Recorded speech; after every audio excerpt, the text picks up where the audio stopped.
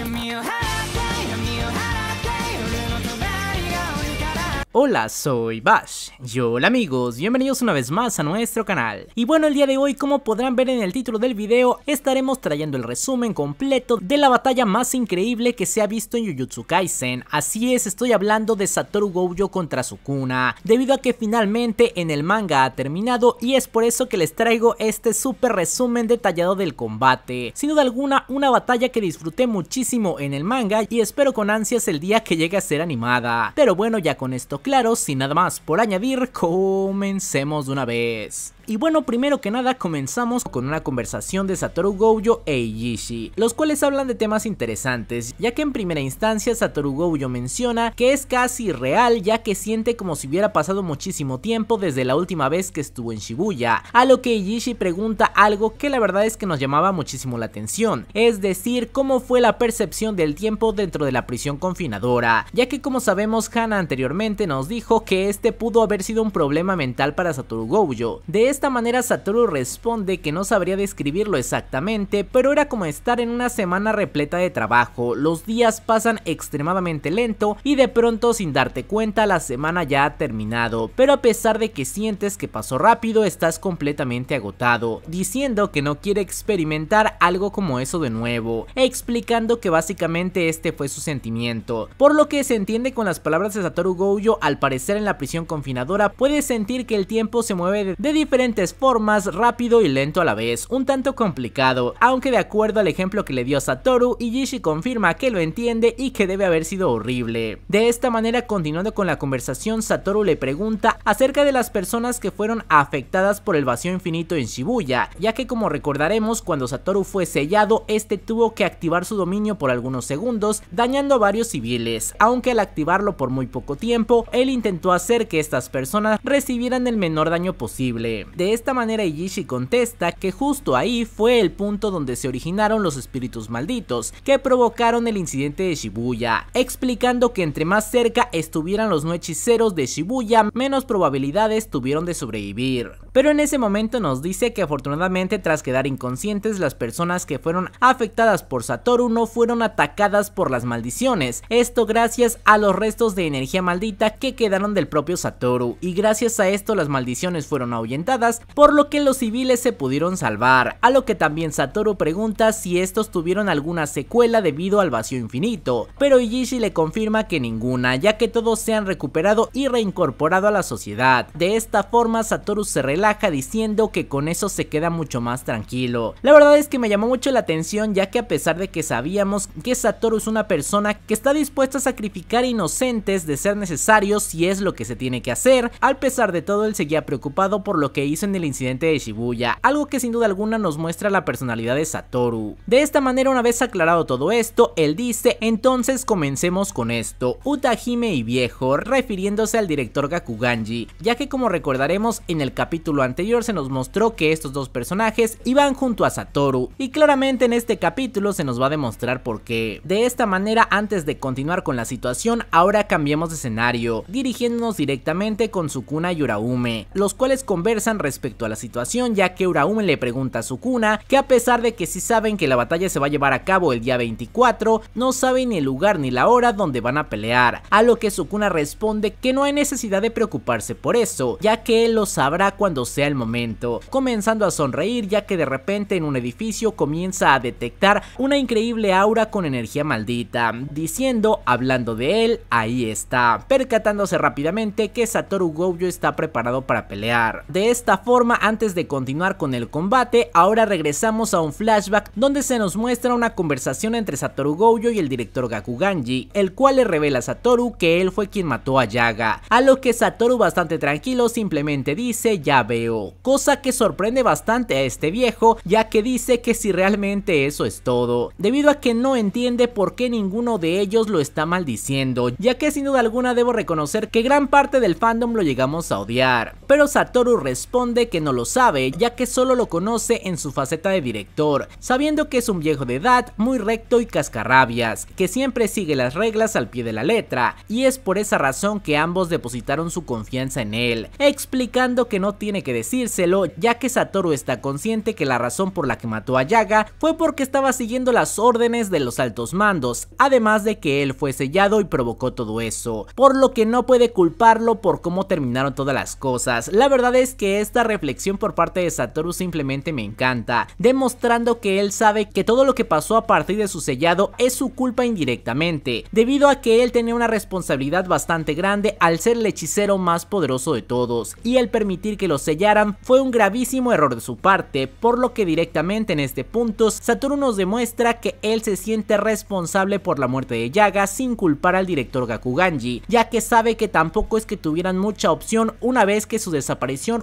el equilibrio del mundo de la hechicería. Pero bueno, de esta manera la conversación entre ambos continúa, ya que Satoru le pregunta a Gakuganji si es que Yaga dijo unas últimas palabras, observando que al parecer Panda se encuentra escuchando la conversación afuera de la habitación. De esta manera Gakuganji explica que sobre Panda confesó que él no era una mutación de un cuerpo maldito, sino que hay una forma de crearlo. Ante esta declaración Satoru simplemente sonríe diciendo así que la gente puede cambiar incluso a esa edad, preguntando rápidamente Gakuganji a qué se refiere mientras Satoru le explica que se refiere a que a pesar de todo no se lo dijo a nadie. El secreto de Panda es un caso de grado especial, así que es sorprendente que aún no lo haya reportado, diciéndole que ha cambiado, cosa que directamente molesta muchísimo al director Gakuganji, pero tiene que aguantar porque técnicamente Satoru tiene la razón. El deber del director era informar acerca de la técnica para crear a Panda a los altos mandos, pero al parecer no se lo dijo a nadie, ya que ni siquiera él se esperaba que Yaga revelara esta información al momento de su muerte, y básicamente en honor a Yaga fue que guardó este secreto. La verdad es que esto se me hace interesante, por otro lado también es posible que la técnica de Yaga llegue a tomar importancia más adelante, ya que como el mismo Satoru lo dice, esta técnica tiene un potencial de grado especial ya que se pueden formar ejércitos a partir de la misma, por lo que sin duda es un recurso que se podría utilizar en algún momento de la historia. Pero bueno, continuando con el diálogo, ahora Satoru le dice a Kakuganji que está seguro de que si él estuviera al mando de la sede de hechicería las cosas serían mucho mejor, mostrándonos en este punto un panel de los altos mandos masacrados. Y bueno, claramente creo que a partir de esto se nos dice que Satoru ha determinado que el director Gakuganji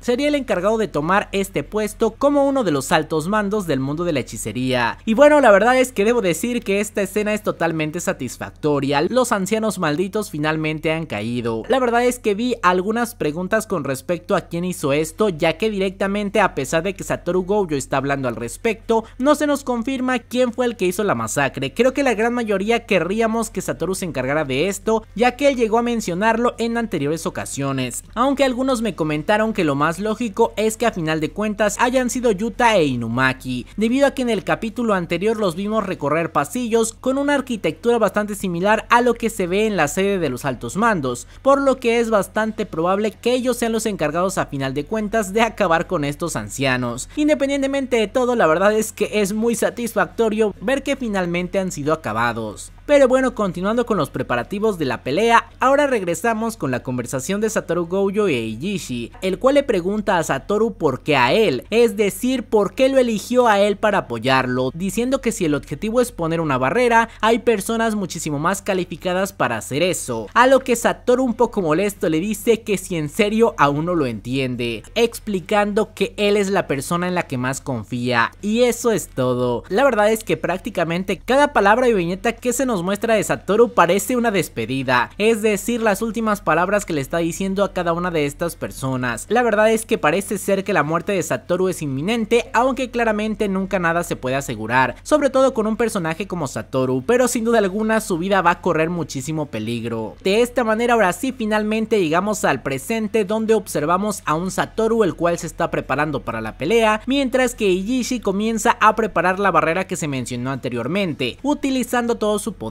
diciendo que siempre ha sido la clase de persona que huye de todo, tanto que cuando se le dio la oportunidad de huir lo hizo, además de decir que no tuvo el suficiente valor como para quedarse y convertirse en hechicero en ese entonces, pero ahora el más fuerte le ha dicho que él es en quien más confía, y eso es algo de lo cual no puede darse el lujo de huir, diciendo con mucha voluntad si no logro responder a su confianza entonces moriré aquí y ahora, mientras observamos que Ishi se esfuerza por realizar la barrera. De esta manera ahora también se nos muestra a Utahime y finalmente conocemos su técnica maldita, ya que se nos dice que esta se llama zona restringida única, la cual amplifica temporalmente la producción de energía maldita de cualquier hechicero incluida la de la propia Utahime, siempre que estén dentro del alcance de su técnica. Y básicamente parece que esta técnica consiste en hacer un baile, pero bueno por otro lado también se nos dice que dominar una técnica maldita es como dominar las.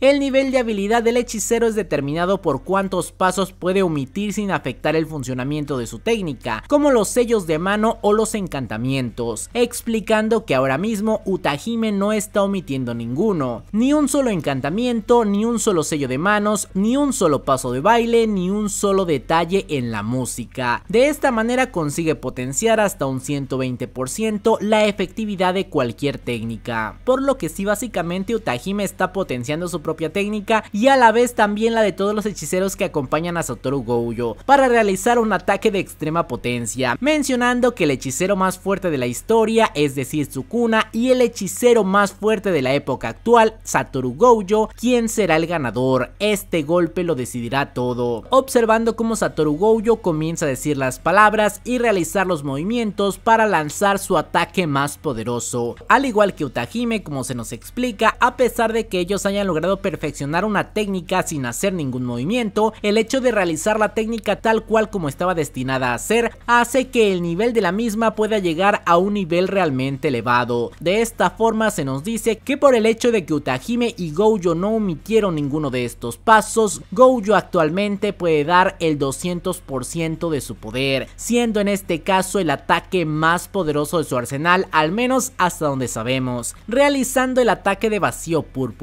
De esta manera vemos como al lanzar este poderoso ataque, Sukuna decide recibirlo de lleno, sorprendido por la increíble potencia que desata este poder, ya que incluso se nos llega a demostrar cómo la potencia del, del ataque de Satoru Gojo tiene el potencial de hacer añicos un edificio, sin duda alguna dejándonos en claro que los niveles de poder que van a manejar tanto Sukuna como Gojo serán realmente elevados, algo que jamás hemos visto en el universo de Jujutsu Kaisen. De esta manera después de que el edificio colapsa sobre Sukuna, observamos como se nos dice que la barrera creada por Iishi tenía una función muy importante, debido a que Sukuna no logró interpretar el primer movimiento de Satoru, aunque logró sentir su presencia a lo lejos, no fue capaz de sentir la enorme producción de energía maldita que había lanzado hasta el último momento, por lo que para cuando quiso reaccionar ya era demasiado tarde, y Sukuna se vio obligado a recibir ese increíble poder de lleno. A pesar de todo observamos que el resultado no fue tan catastrófico para Sukuna ya que únicamente perdió uno de sus brazos y el otro parece algo dañado, pero a pesar de todo Sukuna logró recibir este primer impacto, mostrándonos a Satoru el cual se dirige hacia donde se encuentra Sukuna, diciéndonos el hechicero más fuerte de la historia versus el hechicero más fuerte de la época actual, para finalmente terminar el episodio con un Satoru Gojo frente a Sukuna diciendo creo que quizás no has entendido, así que mejor te lo diré, tú eres el retador, es decir Satoru Gojo se autoproclama como el más poderoso y aquel que va a intentar derrotarlo es Sukuna. La verdad es que esta frase me parece bastante impresionante, sobre todo porque quiere establecer su poderío frente a Sukuna y con un púrpura al 200%. Obviamente esta frase por parte de Satoru hace que Sukuna quede muy molesto diciendo el retador, ¿en serio crees que tienes la ventaja solo por haber lanzado un ataque sorpresa? Gojo Satoru solo eres un pez en mi tabla de cortar, eres un poco más escurridizo que los demás, pero sigue siendo un pez sin nombre al fin y al cabo, observando cómo en ese momento Sukuna regenera sus manos sin ningún problema. Así es, teníamos algunas teorías con respecto a que el púrpura de Satoru podría impedir la regeneración de Sukuna, pero al parecer esto no se cumplió, ya que Sukuna puede regenerarse sin ningún problema. Además de que es muy interesante que Sukuna haga referencia a cortes de pescado como si su técnica de cortes estuviera basado en la cocina, algo que podría ser muy interesante, ya que como recordaremos, Sukuna también posee una técnica de fuego, por lo que imaginen que a final de cuentas, la técnica maldita de Sukuna es la de un cocinero, creo que eso sería bastante gracioso, pero muy interesante también. Pero bueno, regresando con la situación, observamos cómo Sukuna se pone en guardia acumulando una gran cantidad de energía maldita en sus puños para después decir, lo primero que haré será quitarte las escamas. Ante esta situación, Satoru Gojo le responde, si estás tan seguro, entonces ¿por qué sigues usando esa cara? ¿Acaso querías que fuera más suave contigo solo por usarla? Desafortunadamente para ti he estado haciendo un entrenamiento especial, ahora observando a Satoru Gojo de igual forma acumulando energía maldita en sus puños y diciendo no importa si es el rostro de Megumi, puedo golpearlo sin problemas. Y bueno, es bastante curioso lo que menciona Gojo. En primera instancia todavía no está muy clara la razón por la que Sukuna no ha recuperado su verdadero rostro, tal vez tenga algo que ver con su pasado, aunque también como recordaremos en capítulos anteriores, Sukuna mencionó que ese rostro era bellísimo, confirmando que desde siempre Sukuna amaba a Megumi. Por otro lado también puede ser como lo dice Gojo, que tenía la intención de tal vez afectar mentalmente a Gojo, ya que a pesar de que este pueda mencionar que es inmune a golpear a Megumi, a final de cuentas este sigue siendo importante para él. Pero bueno, otro punto importante que se nos menciona en este diálogo es que al parecer Satoru realizó un entrenamiento especial, pero todavía no sabemos el resultado de este, y creo que será muy interesante saber qué es de lo que Satoru es capaz en este momento, ya que sin duda alguna el rival al que está enfrentando no es cualquier cosa. Pero bueno, regresando con el manga, ahora observamos que Gojo menciona que la razón por la que no tiene problema en golpear a Sukuna a pesar de tener el rostro de Megumi es porque la cara de Megumi es idéntica a la de Toji, así que sin duda alguna podrá golpearlo. La verdad es que me llama la atención que Gojo mencione a Toji ya que justamente está usando su vestimenta. Obviamente creo que Satoru no va a olvidar aquel que le pegó una paliza y precisamente esta pelea estamos a punto de verla en la segunda temporada de Jujutsu Kaisen que va a ser totalmente épica. Pero bueno regresando con la situación, Gojo menciona te las arreglaste para sobrevivir a la muerte una vez mientras estabas en Yuji, así que he estado pensando que me preocuparé por Megumi después de matarte. Básicamente a lo que hace referencia Satoru es que sin importar que intente matar el cuerpo de Megumi, a final de cuentas Sukuna puede sobreponerse a la mismísima muerte tal como lo hizo con Itadori, por lo que no tendría ningún sentido contenerse al golpear a Megumi. Además de que creo que claramente Satoru debe tener un as bajo la manga para resolver esta situación. De cualquier manera, una vez que ambos han hablado, ahora sí comienza el combate, observando cómo tenemos un duelo cuerpo a cuerpo, ya que Sukuna lanza una patada mientras Satoru bloquea y posteriormente vemos un intercambio de puños, demostrando la habilidad de ambos peleadores. Mientras tanto observamos que en este punto Gojo hace gala de su habilidad ya que se deja caer para esquivar el puñetazo de Sukuna y posteriormente desde abajo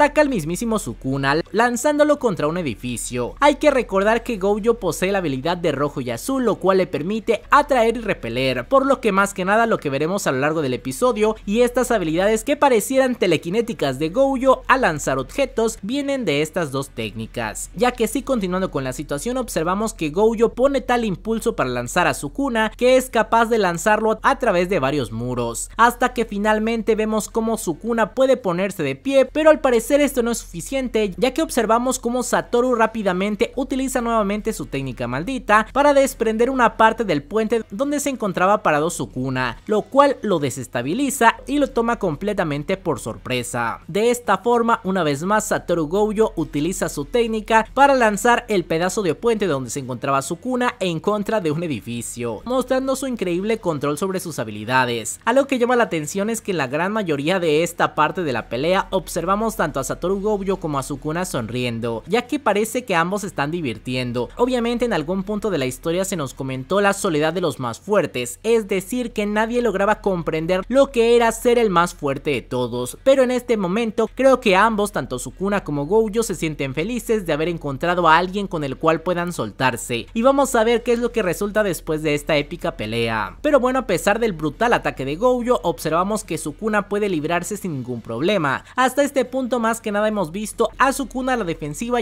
y escapando de todas las ofensivas de Satoru, hasta que finalmente se decide a atacar, utilizando una especie de disparo con el dedo, diciendo desmantelar. Obviamente esta es una de sus técnicas de corte, aunque claramente también es una referencia a Yu Yu Hakusho, ya que sí en este capítulo veremos varias poses en honor a Togashi, cosa que sin duda me llamó bastante la atención. Pero bueno, observamos que el ataque de Sukuna no iba directamente al propio Satoru Gojo, sino que lo lanzó en contra del edificio que se encontraba detrás de él, sorprendiendo a Satoru ya que no se esperaba este ataque por parte de Sukuna. De esta manera, mientras Satoru voltea para ver lo que estaba ocurriendo con el edificio, Sukuna se lanza rápidamente en contra de este, aunque como recordaremos, gracias a la técnica maldita de Satoru Gojo, Sukuna no puede impactar en su rival. De hecho, observamos cómo Satoru desactiva su técnica para así sujetar a Sukuna y lanzarlo en contra del edificio que se encontraba cayendo. Esto llama la atención de Sukuna ya que supongo que no se esperaba que Satoru tuviera que desactivar su técnica para tocarlo. ¿Será que esto podría ser una debilidad del infinito de Satoru Gojo? Honestamente no lo sé, pero vamos a ver si en un futuro Sukuna saca ventaja de esto. Y ahora sí continuamos con una de las escenas que más me encantó del episodio, ya que justamente debido a que Satoru lanza a Sukuna contra el edificio, ahora vemos una pelea dentro de un pasillo del edificio que se encuentra cayendo, por lo que sí la gravedad está completamente distorsionada en ese lugar, al grado de que podemos observar cómo hay una puerta en medio de ambos y de esta forma los dos preparan uno de sus ataques más poderosos. De hecho precisamente en este momento vemos cómo Satoru prepara su golpe al más puro estilo de Gon. Honestamente como dije estas páginas son totalmente brutales. De esta forma obviamente después del impacto del poder entre Sukuna y Satoru Gojo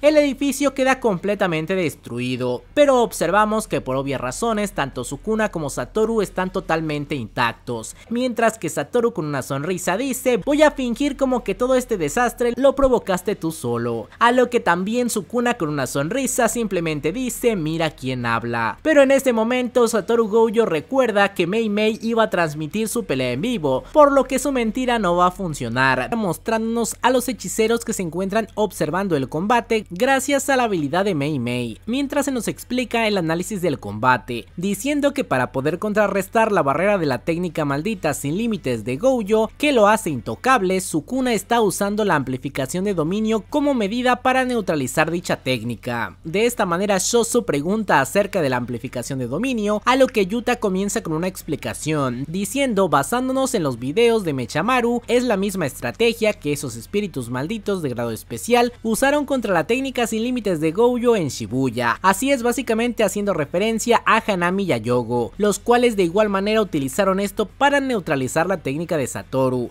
Punto importante aquí es que gracias a esto podemos saber que Satoru debería ser consciente de que se podía usar esta forma para neutralizar su técnica, por lo que Satoru no tendría que haber sido tomado por sorpresa después de esto. Pero bueno, Hakari continúa diciendo, en efecto realmente parece estar neutralizando la técnica de Gojo, pero ¿cómo funciona exactamente? A lo que Kusakabe explica que es como un dominio simple, pero más refinado, ya que al usarlo uno se ve envuelto en un dominio que no le permite usar su propia técnica, pero a cambio neutraliza la técnica del oponente cuando este es tocado. De esta manera observamos que Miwa le pregunta a Kusakabe que si es que él puede utilizar la amplificación de dominio, a lo que Kusakabe responde no seas tonta, claro que no puedo. Obviamente si ya de por sí el dominio simple es una técnica complicada, la amplificación de dominio se encuentra en un grado superior, por lo que muy pocos hechiceros pueden ser capaces de usarlo. De esta manera continuando con la conversación, Higuruma menciona que puede ser capaz de entenderlo, a lo que Hana dice, cierto, la desventaja de la amplificación es que el usuario no puede utilizar su técnica innata, y no creo que Sukuna sea la excepción a eso. De esta forma Panda dice, esto quiere decir que prácticamente está luchando contra Satoru sin usar técnicas, ¿verdad? A lo que Hana explica que teme decirlo, pero si Sukuna tiene un plan para contrarrestar la técnica maldita sin límites, con un movimiento que no sea la amplificación, entonces Gojo Satoru perderá. Y bueno, justamente algo que veremos más adelante es que la razón por la que Sukuna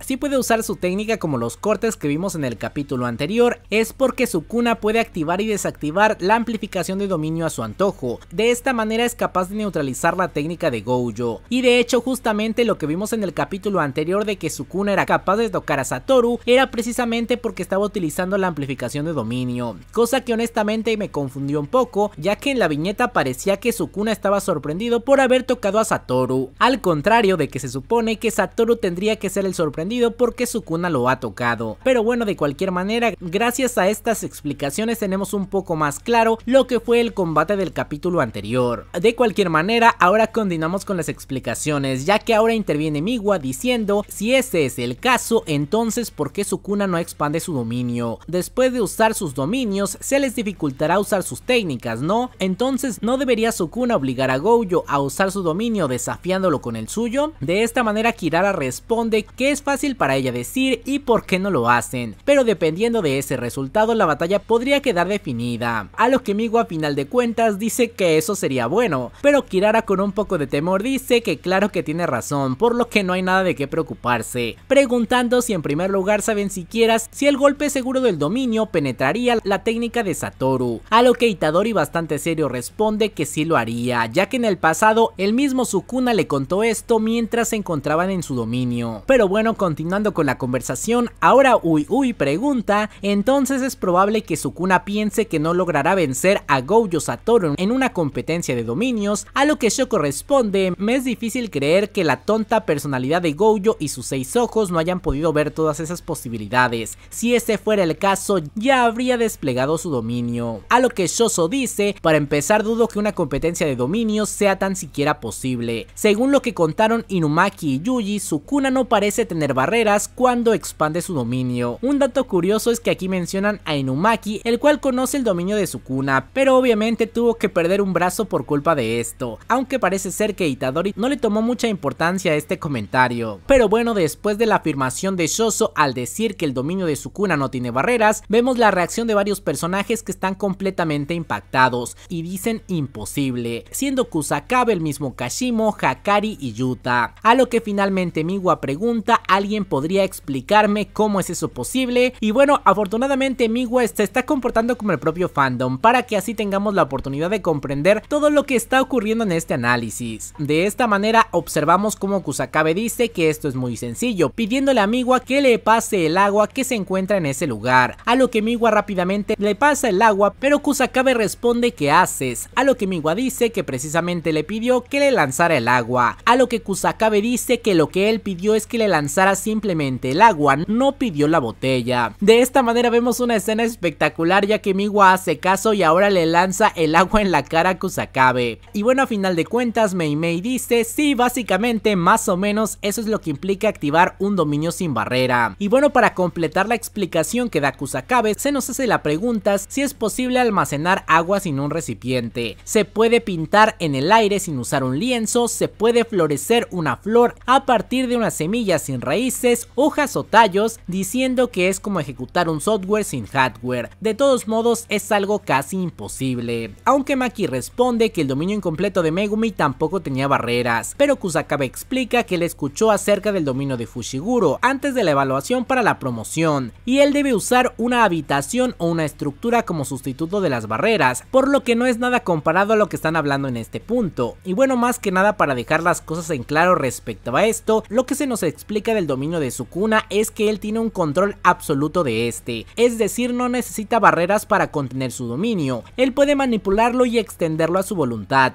por lo que al tener un control supremo de todo su dominio, no es necesario para él establecer ningún tipo de barrera, siendo esta una cualidad realmente impresionante. Pero bueno, regresando al manga, ahora observamos que Shoso también comenta que Kamo Noritoshi Kenyaku también puede hacerlo, diciendo que en ese momento Tsukumo lo contraatacó con un dominio simple, mientras que Tengen trataba de desmantelar su dominio desde el exterior, con su técnica de barreras, pero su dominio simple se deshizo en un abrir y cerrar de ojos, diciendo que si tan solo Tsukumo hubiera expandido su dominio primero, ella tal vez habría tenido una oportunidad. De esta forma Mei Mei interviene diciendo, entonces más que un choque de dominios, aquello hubiera terminado siendo un choque entre los contornos de los dominios, pero al final me pregunto si hubieran acabado empujándose mutuamente por el golpe seguro de sus técnicas debido al dominio de Yuki. De esta manera Miwa pregunta a qué se refiere con empujar el dominio y dice que si esto es acaso un efecto del golpe seguro, a lo que le responden que los efectos del golpe seguro provienen de las barreras, así que es muy difícil saber qué pasaría si un dominio con barreras choca con uno que no las tiene. Básicamente en este momento, como se nos dice, si Yuki hubiera activado su dominio, habría ocurrido algo similar a lo que pasó con Gojo y Sukuna. A final de cuentas creo que Yuki de cualquier forma habría perdido, ya que el dominio de Kenyaku al no tener barreras habría podido atacar al de Yuki desde el exterior y de igual forma habría recibido el golpe seguro, por lo que a final de cuentas parece ser que la derrota de Yuki estaba prácticamente confirmada. De cualquier forma ahora continuamos con la conversación diciendo que están hablando de los dominios como si fuera muy natural usarlos, ya que consumen tanta energía maldita que nadie los suele usar a menos de que sea un último recurso. De esta forma Inumaki dice el comentario más acertado de todo este capítulo diciendo Atún, por lo que claramente le dice dicen que Inumaki tiene razón, Gojo jamás se quedaría sin energía maldita, y eso es porque la eficiencia de su energía maldita es lo suficientemente buena como para mantener su consumo dentro de un rango de abastecimiento constante, aunque en este punto mencionan que eso sería si es que utilizara su energía maldita con normalidad, pero si usara el dominio una y otra vez de manera consecutiva, probablemente eso sí terminaría afectándolo. En este momento Kashimo interviene ya que dice que Sukuna también podría hacer algo similar, debido a que él básicamente es un dios en eso, ya que puede usar la amplificación y desactivarla de inmediato para usar su técnica innata. Su habilidad para sustentar su energía maldita es una locura, si Gojo Satoru no tuviera los seis ojos, Sukuna seguramente ya habría ganado. De esta forma, ahora continuamos con Yuta, el cual menciona, además, su cantidad de energía maldita es más grande que la mía. Basándome en lo que he visto, puede que tenga el doble, por lo que dudo de que alguno de ellos vaya a expandir su dominio como último recurso.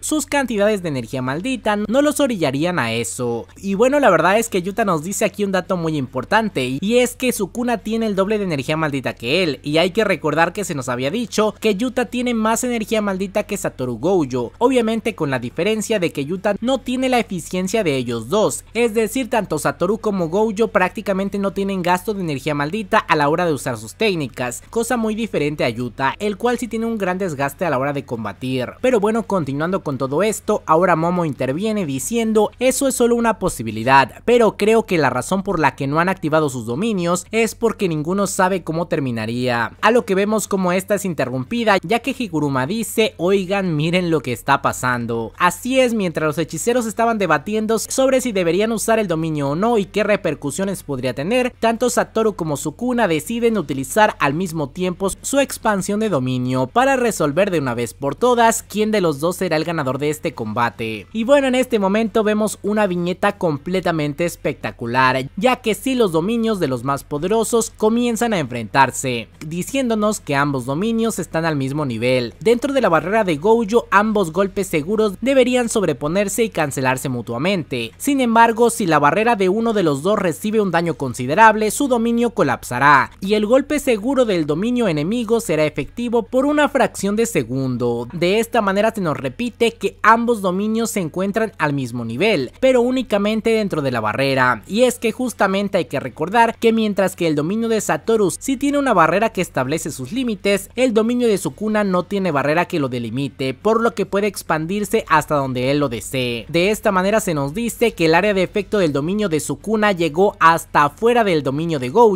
y lo envolvió, diciéndonos que la barrera de un dominio es vulnerable a los ataques del exterior, mostrándonos a Itadori completamente preocupado ya que precisamente él es el que conocía esta condición debido a su enfrentamiento con Mahito y justamente en este punto nuevamente cobra relevancia esta debilidad de los dominios. Por lo que a final de cuentas vemos el terrible resultado y es que el dominio de Sukuna se impone sobre el dominio de Satoru Gojo ya que fue capaz de destruirlo desde el exterior. Justamente como se nos dijo en el capítulo los dominios estaban al mismo nivel pero solo dentro de la barrera de Satoru Gojo, por lo que al momento de que Sukuna lo superó en este aspecto la derrota estaba prácticamente garantizada. De esta manera ahora sí pasamos a la última página del episodio donde se nos muestra el brutal escenario y es que Satoru Gojo fue impactado por el golpe seguro del dominio de Sukuna cortándole el cuello y dejándonos la frase final de el dominio del más fuerte ha sido destruido, un filo mortal rompe lo impenetrable, observando como después del corte Gojo intenta reaccionar rápidamente, de esta forma se nos muestra como al igual que nosotros Itadori y los demás casi se infartan después de ver que le cortaron el cuello a Gojo, Afortunadamente Gojo reacciona rápidamente utilizando su técnica maldita inversa, con la cual es capaz de regenerarse prácticamente al instante. De esta manera observamos que el propio Higuruma dice que a pesar de que logró curarse, mientras sigue en el dominio de su cuna, los cortes van a seguir alcanzándolo. De esta manera continuamos con una conversación donde Shoso menciona que ya que el dominio de su cuna tiene una barrera sin cerrar, debería ser fácil escapar de él, ya que hay que recordar que lo que te retiene en un dominio son básicamente las barreras. Ante esto, Hakari menciona que incluso si asumimos que el radio máximo de efecto del relicario demoníaco es igual a aquella vez en Shibuya, la velocidad de Gojo es tal que podría salir de ahí en un segundo, a lo que Kusakabe corrige ya que menciona que para poder usar su teletransportación Gojo debe comprimir el espacio de, de su coordenada con su técnica sin límites, pero actualmente debido a que su dominio fue destruido, Gojo no puede usar su técnica por un rato, así que no será tan sencillo escapar del dominio de Sukuna debido a la enorme extensión de este. De esta manera a final de cuentas todos llegan a la conclusión de que Gojo se encuentra en graves problemas. En este momento observamos como una enorme cantidad de cortes empieza a cubrir a Satoru Gojo en una escena que es completamente brutal, pero a pesar de esto Gojo menciona que menos mal el rendimiento de su técnica maldita es superior a la de Sukuna, por lo que sí a pesar de los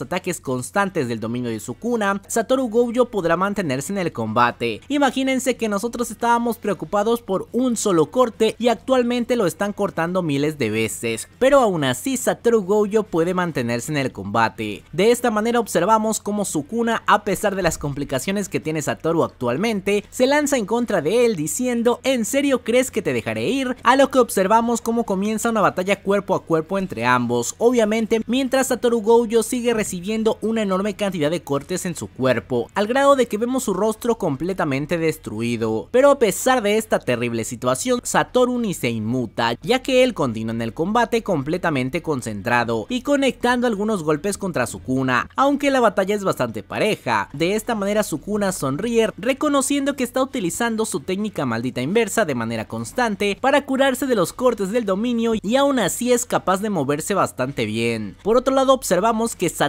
a pesar del daño que está recibiendo también sigue concentrado en el combate, dándose cuenta de que al parecer el relicario demoníaco es el centro del dominio y no el mismo Sukuna, por lo que sin duda el relicario es importante para este dominio. De esta forma regresamos con los espectadores los cuales también se percatan del relicario y se pregunta en primera instancia a Itadori qué pasaría si lo destruye, a lo que Kusakabe responde que generalmente las cosas materializadas en un dominio innato no tienen un significado especial, ni cumplen un rol, en otras palabras es como si no existieran, a lo que Mei Mei responde que si ese relicario resulta ser algo estético entonces no podría ser destruido y tampoco tendría sentido intentarlo, pero dado que Gojo tiene los seis ojos ya debería haberse dado cuenta, así que mientras no se dirija a destruirlo significa que solo es un adorno. Ante esta situación Kirara se preocupa diciendo esto es malo, en serio se quedó sin opciones para contraatacar, pero justamente cuando Kirara menciona todo esto se escucha la frase nuevo estilo de sombras, dominio simple, por lo que observamos como Satoru Gojo al parecer es capaz de activar su dominio simple para continuar con el combate e intentar neutralizar el dominio de Sukuna. De esta manera Kusakabe se queda muy sorprendido por el dominio simple que acaba de activar Satoru, a lo que Itadori también se sorprende ya que menciona que Gojo le había dicho que no podía hacerlo, pero Kusakabe lo corrige ya que menciona que lo que realmente dijo es que él no podía enseñarlo,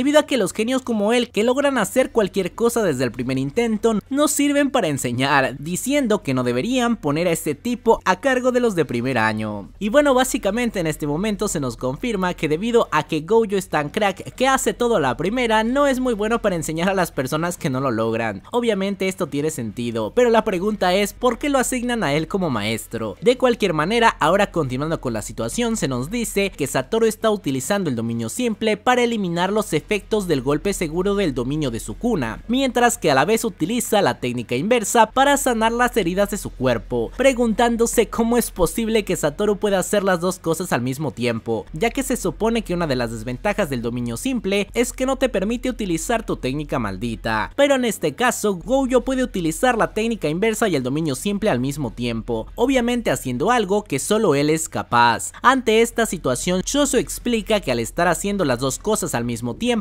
significa que ese dominio simple está construido con una cantidad menor de energía maldita, así que solo está comprando un poco de tiempo antes de volver a enfrentarse al dominio real. Básicamente lo que nos dice es que este dominio simple no tiene la fortaleza máxima que podría alcanzar Satoru Gojo, esto con el objetivo de hacer la segunda tarea que es recuperarse de sus heridas. De esta manera después de que Satoru logra recuperarse, el combate contra Sukuna continúa, observando que Sukuna una vez más logra deshabilitar el dominio simple de Satoru por lo que los cortes comienzan una vez más, a lo que Shoso dice se los dije, pero tan pronto como el dominio simple se había roto, una vez más Satoru Gojo lo activa, a lo que Sukuna se molesta diciendo que repetitivo. De esta manera el resto de espectadores se preguntan por qué hace esto Satoru ya que pareciera no tener sentido, debido a que simplemente se curó para volver a ser herido una vez más, por lo que parece que fue un simple desperdicio. De esta manera ahora se percatan de que a pesar de que Satoru Gojo utilizó el dominio simple, no se está curando con su técnica maldita inversa, a lo que Yuta menciona no puede ser, Gojo no puede quedarse sin energía maldita, pero en ese momento se nos dice que no puede quedarse sin energía maldita en situaciones normales, pero este no es el caso, ya que tras usar su dominio, su técnica maldita se desgasta y se vuelve difícil usarla sin mencionar que la técnica maldita inversa gasta el doble de energía maldita y en todo este tiempo Sukuna no ha dejado de atacarlo ni siquiera un segundo, obligando a Satoru a usarlo de manera constante, por lo que pareciera ser que la energía maldita de Satoru se está agotando y es por eso que no puede continuar con su regeneración. De esta forma regresando al combate observamos que una vez más Satoru Gojo comienza a ser cortado, pero esta vez ya sin regenerarse, por lo que se lanza la pregunta Gojo Satoru realmente va a perder y en ese momento observamos uno de los mejores movimientos del episodio, ya que vemos cómo Satoru se lanza contra Sukuna para darle un abrazo, dejándolo completamente sorprendido ya que al parecer la velocidad de Satoru aumentó de golpe. Y bueno, por si acaso no shipeaban a Satoru y a Sukuna, creo que a partir de ahora lo harán. Pero bueno, la verdadera razón de este abrazo es para inmovilizar a Sukuna, ya que después de esto observamos cómo Satoru Gojo prepara un ataque diciendo técnica de inversión. Ante esto Yuta se emociona diciendo que puede hacerlo, dándose cuenta que la razón por la que anteriormente no curó su cuerpo es porque con la técnica maldita inversa lo que estaba curando era su técnica maldita desgastada, por lo que actualmente una vez más Satoru Gojo ha recuperado la capacidad de utilizar su técnica maldita, liberando su ataque rojo en contra de Sukuna y causando un daño totalmente catastrófico, ya que además de dañar el cuerpo de Sukuna, también el relicario maldito del dominio fue completamente destruido, por lo que pareciera ser que finalmente Satoru logró librarse del dominio, ya que incluso vemos cómo comienza una vez más con su regeneración y ahora parece ser que el efecto de golpe seguro del dominio ha caído, por lo que en efecto el relicario maldito era el punto débil de este dominio, a lo que Satoru cierra el capítulo diciendo vaya eso fue agotador, el sentido común no aplica en la batalla entre los más fuertes. De esta manera observamos cómo Kusakabe rápidamente pregunta curar su técnica desgastada con la técnica inversa, gritándole rápidamente a Yuta por respuestas, a lo que Yuta bastante sorprendido y preocupado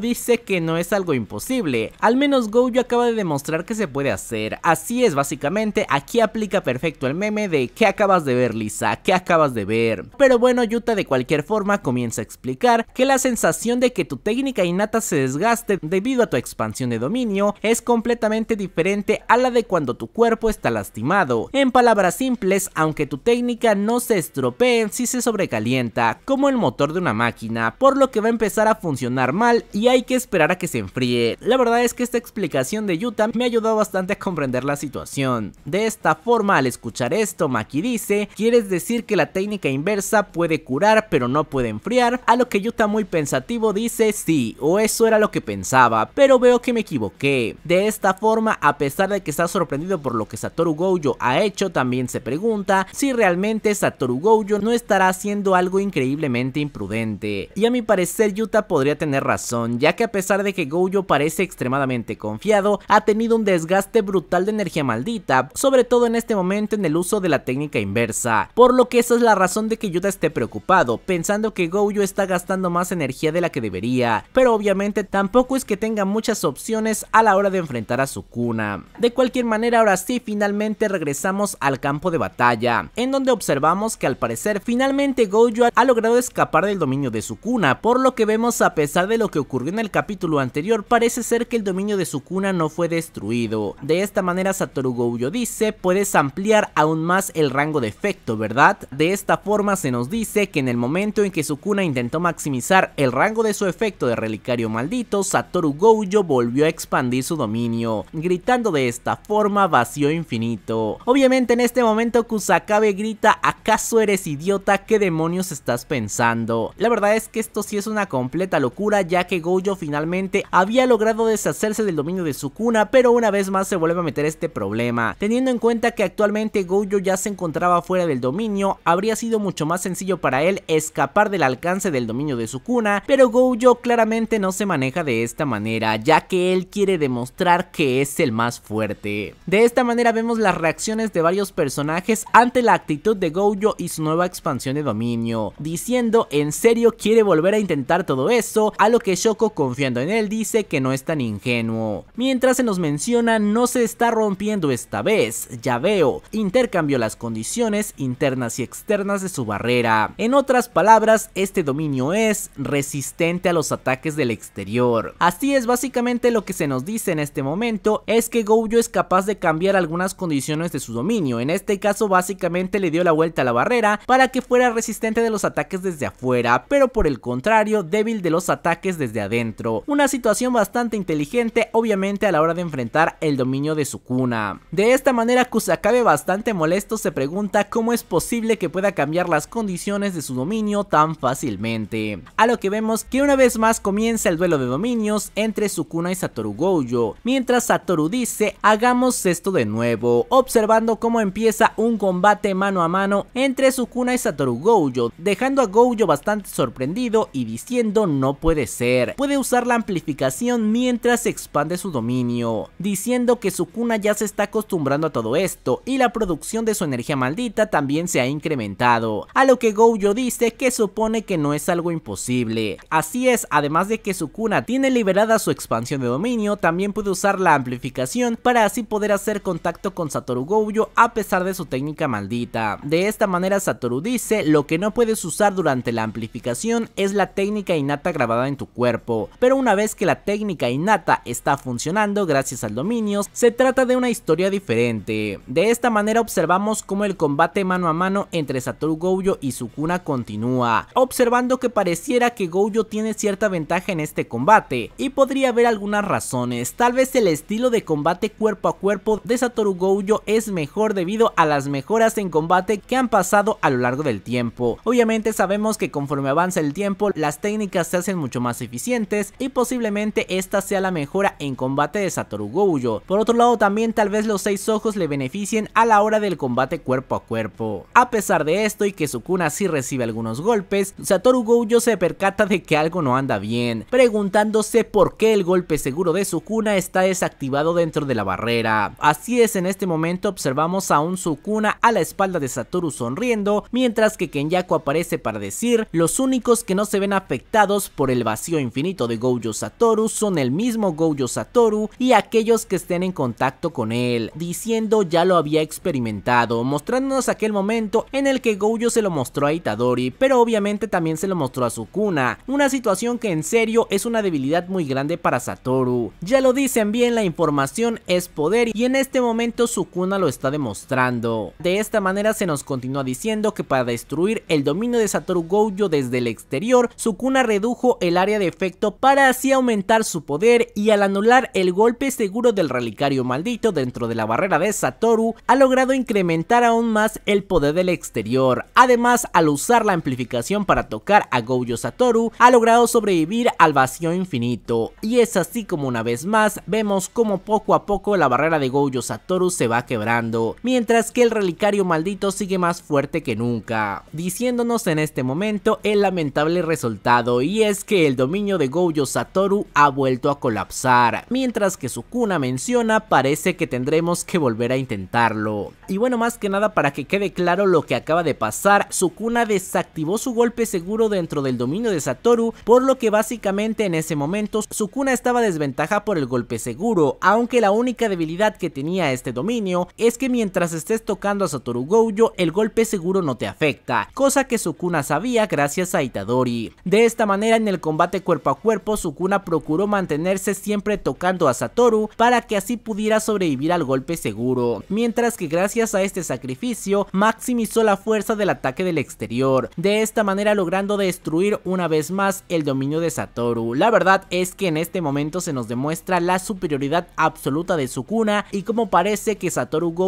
simplemente está tratando de resistir el combate. De esta manera una vez que el dominio de Satoru ha sido destruido, observamos cómo el golpe seguro vuelve a tener efecto en Satoru Gojo, comenzando a cortarlo una vez más, mientras Itadori grita ¿por qué? A lo que Kusakabe dice tal vez Sukuna también ha cambiado las condiciones del dominio de alguna forma, mientras que vemos la aparición de Kashimo el cual dice si ese tipo muere seré el próximo en ir a pelear, así que ni siquiera intenten meterse en mi camino. Y bueno aquí vemos que de alguna manera Kashimo sí aceptó su turno, probablemente el juego de piedra, papel o tijera pudo haber sido una de las claves para que Kashimo esperara su turno para pelear, obviamente diciendo que una vez que Satoru muera, él va a entrar al combate. Pero bueno, una vez que escuchamos este comentario, ahora sí regresamos al campo de batalla, donde Satoru Gojo está siendo cortado por el dominio de Sukuna, pero Sukuna se percata de que sus cortes son demasiado superficiales, es decir, prácticamente no le causan ningún daño. De esta manera Satoru dice que aprendió esto cuando era un niño, pero después de dominar la expansión de dominio, él simplemente dejó de usarlo, diciéndole a Sukuna no está nada mal, ¿verdad? En ese momento Kusakabe dice es la emoción de los pétalos caídos, a lo que todos se preguntan qué demonios es eso, y Panda comienza a decir es una técnica secreta antidominios transmitido en los tres grandes clanes, aunque a pesar de ser un secreto, parece que Kusakabe la conoce. De esta manera Kusakabe dice es un programa que manipula la energía maldita y la libera toda automáticamente cuando un ataque está en contacto con ella. Y eso es todo lo que hace, es inútil usarla con dominios complicados como el vacío infinito, pero es muy útil contra técnicas simples como los cortes de Sukuna. A diferencia de un dominio simple normal, este no se puede romper fácilmente. Y bueno, para aquellos que podría ocurrírseles decir que esto es un guionazo, básicamente esta técnica ya había sido presentada anteriormente por Naobito Zenin, y como se nos dice en este punto, parece ser que es una técnica transmitida por los tres clanes, así que a final de cuentas tiene sentido. Y obviamente la importancia de esto es que tiene una eficiencia de protección ante los dominios mucho más alta que un dominio simple convencional, algo que sin duda alguna se me hace bastante interesante. Pero bueno, continuando con la situación, Shoso dice, pero tampoco te protegerá por completo, ¿verdad? No es una técnica que se pueda imponer a la producción de energía maldita de un dominio. De esta manera Shoko dice, eso es suficiente, Gojo puede curar su técnica desgastada con la técnica inversa, lo único que necesita es comprar algo de tiempo para sanarse. Mientras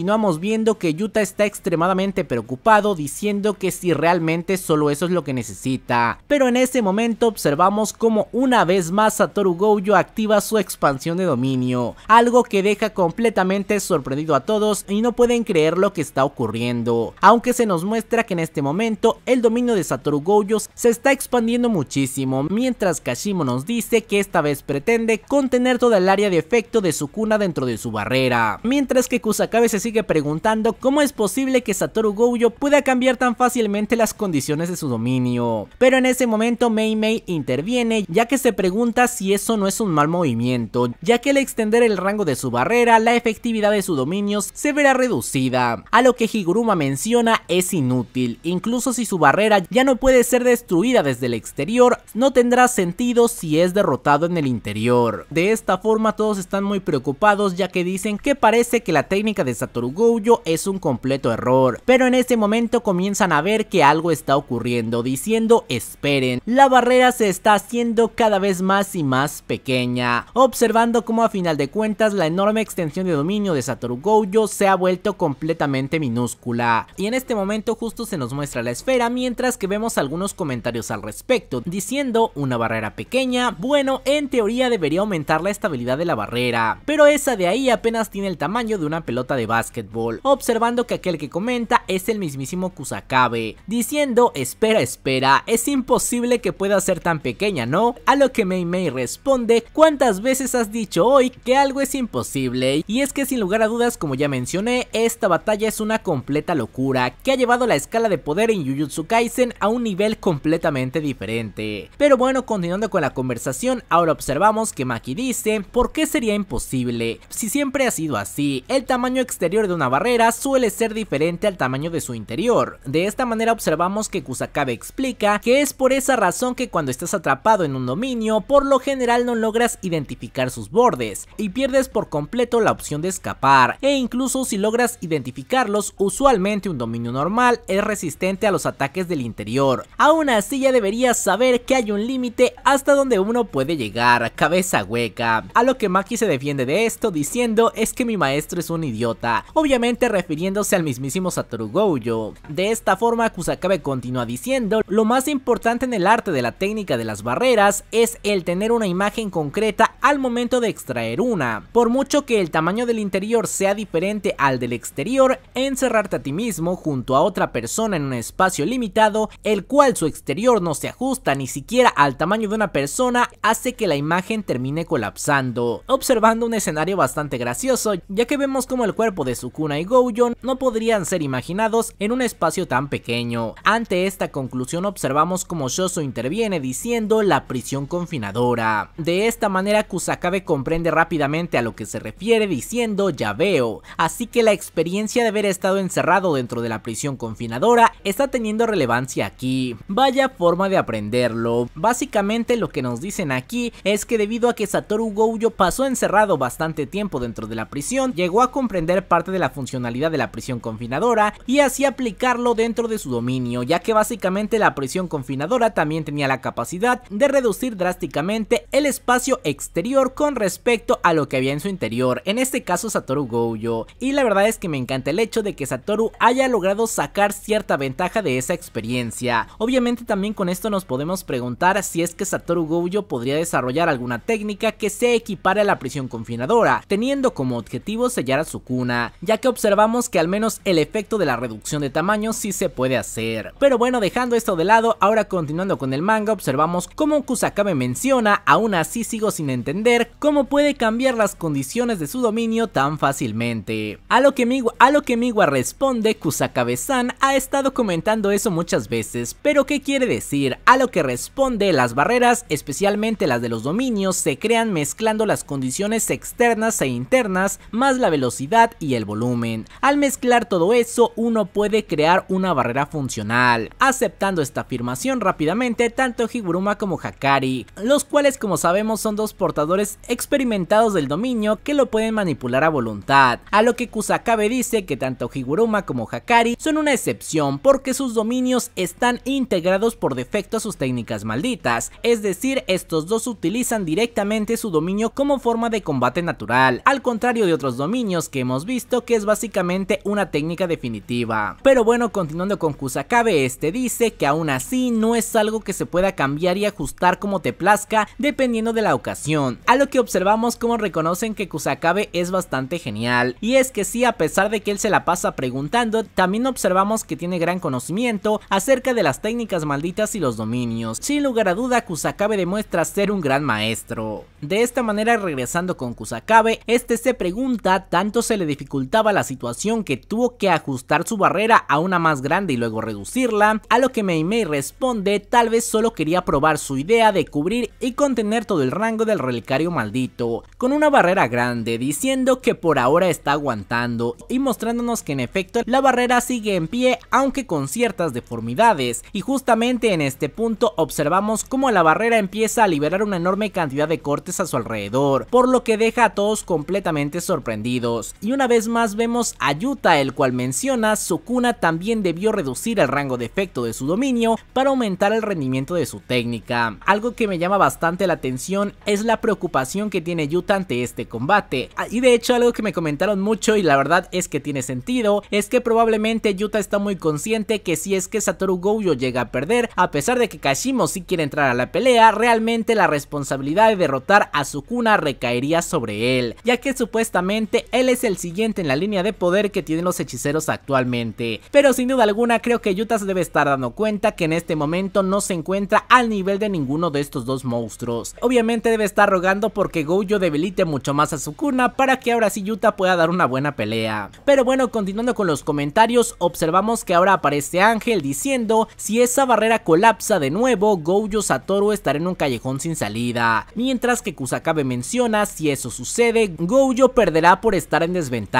revelándonos ahora sí el resultado de este duelo de dominios, ya que observamos cómo la barrera del dominio de Gojo estalla, dejándonos ver parte del resultado ya que observamos a Gojo y Sukuna frente a frente, con un Gojo que en esta ocasión parece estar bastante bien, ya que recordemos que cada que terminaba un combate de dominios, Gojo sufría del golpe seguro del dominio de Sukuna, teniendo múltiples heridas, pero en esta ocasión no es así, observando la reacción en este caso de Itadori, el cual simplemente grita Sensei, mientras que los otros solo se quedan analizando, y el mismísimo Kashimo se pregunta por qué, mientras observamos que ahora sí 100% real no fake, el dominio de Sukuna, el relicario maldito, ha sido completamente destruido, así es después de múltiples intentos por parte de Satoru Gojo, finalmente lo ha logrado. Además de observar que este no es el único efecto que ha tenido este choque de dominios, ya que también observamos que Sukuna está gravemente herido, debido a que al parecer recibió un tremendo impacto en el pecho. En este momento vemos una reacción que prácticamente describe a todo el fandom, ya que el mismísimo Hakari comienza a gritar con locura diciendo Woohoo Gojo-san, como si estuviera festejando un gol. La verdad es que me encantó la reacción de Hakari. Mientras que también menciona al mismo tiempo, colapsaron al mismo tiempo. Sukuna destruyó el dominio de Gojo desde el exterior y Gojo logró hacerle tanto daño a Sukuna que este no pudo seguir manteniendo su dominio. Y bueno, la verdad es que la situación fue bastante interesante, ya que como vimos, una vez más Sukuna realizó la misma técnica de la vez anterior, es decir, maximizar el poder de su dominio en el exterior para así acabar con el dominio de Gojo, pero en lo que hizo eso, Gojo tomó la ventaja para intentar causarle un gran daño a Sukuna. A pesar de esto, de acuerdo a lo que podemos ver, creo que el golpe seguro del dominio de Gojo no impactó en Sukuna,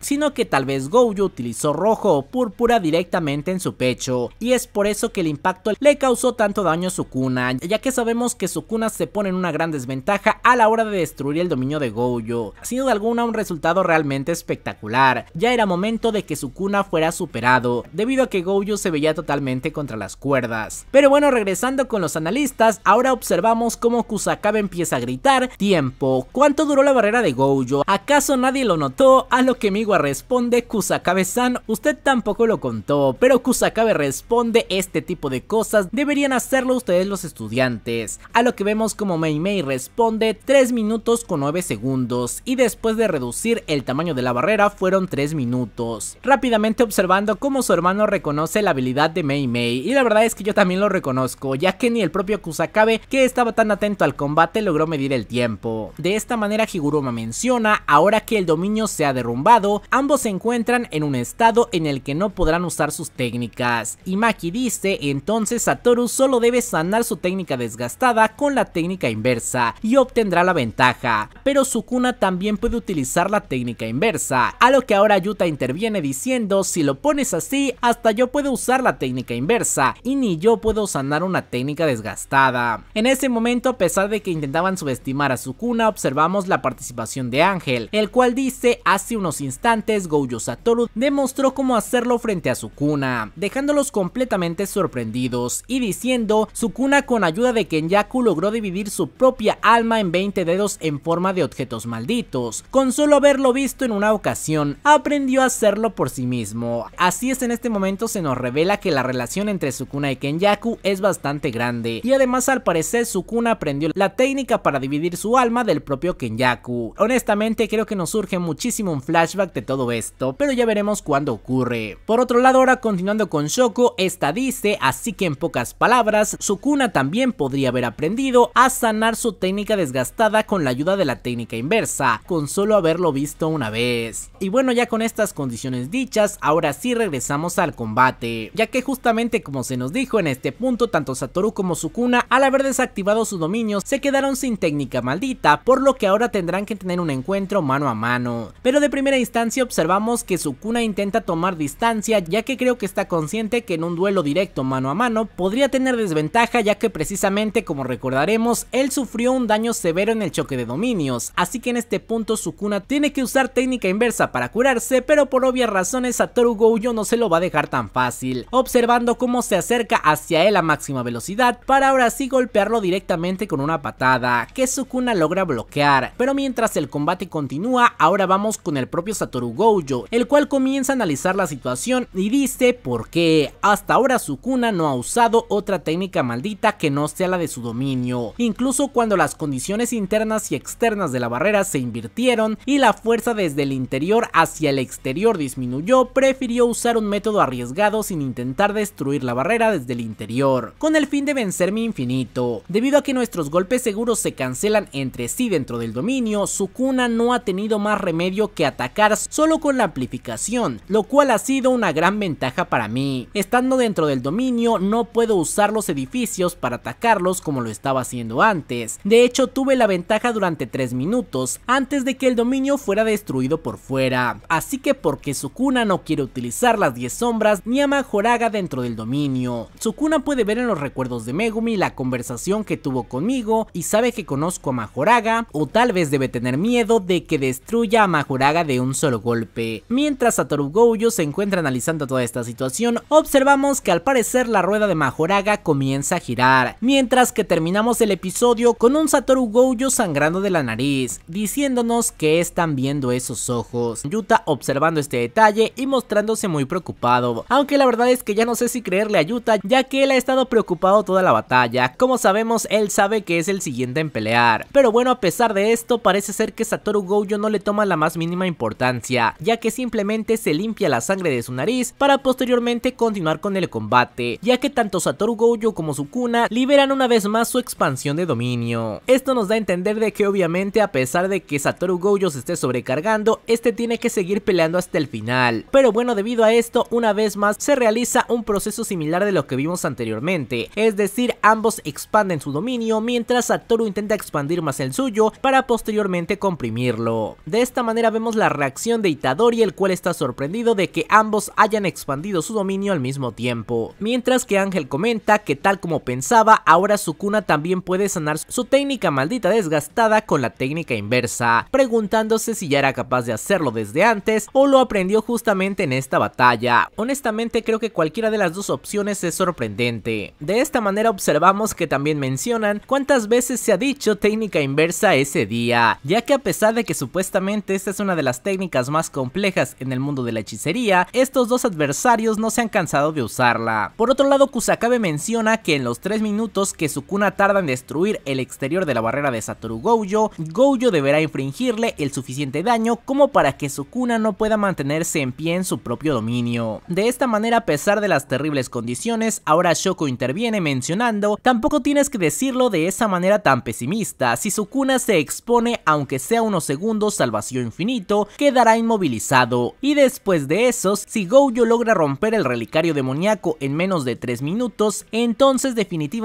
Gojo ganaría. Y bueno, básicamente con esto se nos plantea el encuentro de dominios que tenemos actualmente, es decir, a Sukuna le toma 3 minutos destruir el dominio de Gojo desde afuera, por lo que ese es el tiempo que tiene Satoru para atacar a Sukuna directamente y así destruir el suyo, es decir, el que destruya primero el dominio del otro gana. Y de esta manera ahora sí regresamos al combate, en donde ambos adversarios se encuentran dentro de sus dominios en este rango de 3 minutos, observando cómo Satoru Gojo se lanza al ataque a máxima velocidad, golpeando a Sukuna, mientras este simplemente intenta bloquear los ataques. De esta manera Gojo decide cambiar su dirección de ataque para intentar atacar por la espalda a Sukuna, aunque este apresuradamente logra reaccionar a los ataques de Gojo, para que posteriormente Gojo realice un ataque muy interesante. La verdad es que no estoy muy seguro de qué ocurre en estas viñetas, pero pareciera que Gojo está utilizando azul, ya que parece ser que Sukuna está siendo atraído con mucha fuerza hacia él, aunque tampoco es que quede tan claro. De esta manera, una vez que Sukuna es atraído hacia Gojo, este lo recibe con un tremendo impacto que Sukuna apenas y logra detener, en un escenario realmente espectacular, y sin duda alguna algo que hay que reconocer es que cuando se trata de enfrentamiento cuerpo a cuerpo a nivel serio, Satoru Gojo es muy superior a Sukuna, y creo que esto ya se dejó claro a lo largo del combate. De esta manera observamos que gracias a este tremendo impacto, finalmente Gojo logró su cometido, es decir, causar suficiente daño en Sukuna para que este no pueda mantener su relicario maldito, por lo que de esta manera se nos confirma una vez más un empate técnico, ya que ambos dominios han sido destruidos prácticamente al mismo tiempo, aunque con una clara diferencia, y es que Sukuna recibe una enorme cantidad de daño. En este caso observamos que Sukuna parece quemado de la mitad del rostro, mientras también observamos las reacciones de los espectadores mientras Kusakabe grita otra vez, e incluso la misma Mei Mei dice esto comienza ponerme nerviosa y Shoso menciona eso significa que, aunque sin terminar la frase, ya que Miwa es la que continúa diciendo, si sigue haciendo lo mismo significa que Gojo-san es más fuerte dentro del dominio, ¿no? Lo que significa que él puede ganar, terminando esta frase el mismísimo Itadori, y observando cómo continúan la pelea sin parar fuera del dominio, ya que Gojo logra golpear de una manera brutal a Sukuna, y es que justo como lo vimos anteriormente, Satoru Gojo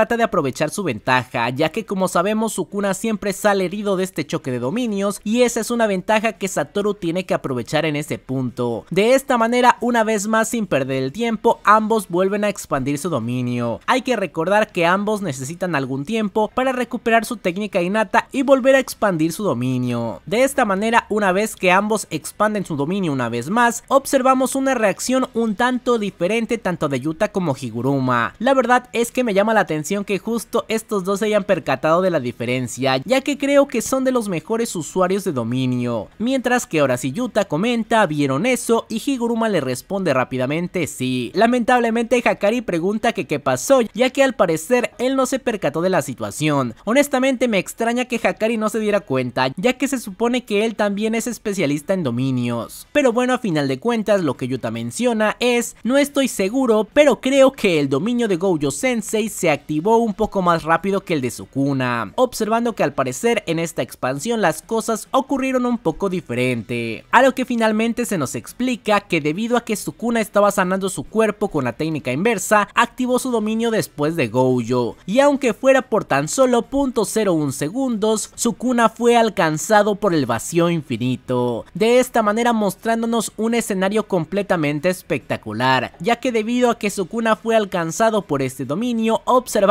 que él quedó completamente paralizado ante la supremacía de Satoru Gojo, por lo que al momento de despertar observamos como Satoru fue capaz de impactar directamente en el pecho de Sukuna. De esta manera, por obvias razones, gracias a esta pequeña ventaja por parte de Satoru, él logró causar un enorme daño en Sukuna de principio, por lo que en este momento se nos dice que después de 2 minutos y 40 segundos, desde el último despliegue de dominios y dentro del dominio de Gojo, el relicario maldito ha colapsado. Y bueno, más que nada en este punto se nos explica que a los 2 minutos y 40 segundos colapsó el dominio de Sukuna, por lo que en este momento, por primera vez en toda la batalla, el dominio de Satoru Gojo se ha impuesto al de Sukuna. De esta manera, finalmente, el vacío infinito predomina y Sukuna simplemente queda paralizado ante este poderoso dominio. De esta manera, regresando con Satoru Gojo, este dice aún no. Debo aplastar su corazón, sus pulmones e hígado también. Debo dejarlo aún más al borde de la muerte a como dejó a Yuji en el centro de detención. Esto para que obviamente su regeneración no sea suficiente. Lamentablemente sabemos que las cosas no serán tan sencillas, ya que en ese momento se menciona General Divino de los Mandamientos y de las Ocho Espadas, Majoraga. Así es, Majoraga aparece en medio del vacío infinito para detener a Satoru Gojo antes de que logre causar un daño considerable en su cuna. De esta manera Satoru Gojo se ve muy sorprendido por esta aparición, diciendo así que decidió usarlo hasta ahora. No me importa, lo destruiré con un solo ataque antes de que se adapte al vacío infinito, utilizando un ataque de su técnica de inversión, mientras que Majoraga comienza su ataque en contra del vacío infinito, dejando completamente sorprendido a Satoru Gojo,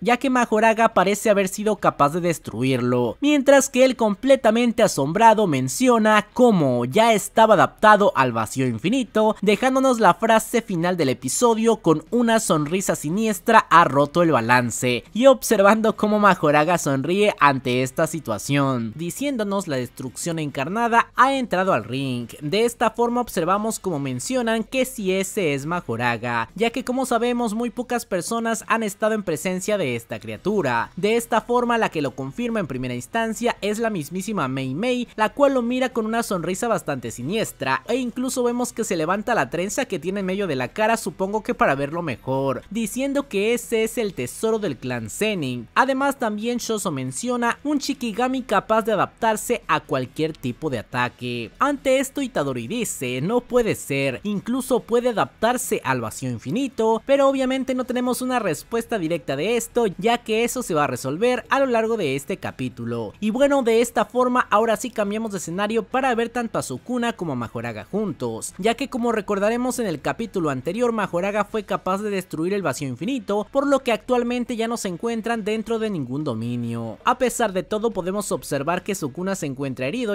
ya que como recordaremos había sufrido algunos daños. Después de una épica viñeta de estos dos juntos, se nos muestra el pensamiento de Sukuna, el cual dice Gojo Satoru ya sabe sobre Majoraga y su nivel destructivo. De esta forma se nos muestra un análisis general sobre Sukuna y su manera de utilizar a Majoraga, diciéndonos que durante su batalla con Yorosus, Sukuna se dejó atacar por su técnica de construcción, con el propósito de que Majoraga pudiera ver a través de ella y lograr adaptarse, diciéndonos que en esta batalla, al expandir los cinco dominios, las órdenes para activar los golpes seguros eran las siguientes, el todo dentro del dominio de Satoru Gojo, mientras que la instrucción del dominio de Sukuna era el todo menos el invocador, es decir, básicamente el dominio de Satoru estaba predispuesto para atacar a todo aquel que se encontrara en su rango, obviamente a excepción de Satoru ya que él es inmune a todo esto. Y por otro lado Sukuna sí tenía la restricción de no atacarse a sí mismo, y esto es por lo que veremos más adelante, y es que el cuerpo actual de Sukuna no es su cuerpo original, por lo que probablemente si Sukuna no ponía esta restricción, su propio dominio podría ponerse en su contra. Pero bueno, ahora sí, continuando con la explicación, se nos dice que para esa persona los golpes seguros nunca se anularon. Esa persona fue sometida 5 veces al vacío infinito, con el propósito de que Majoraga se adaptara,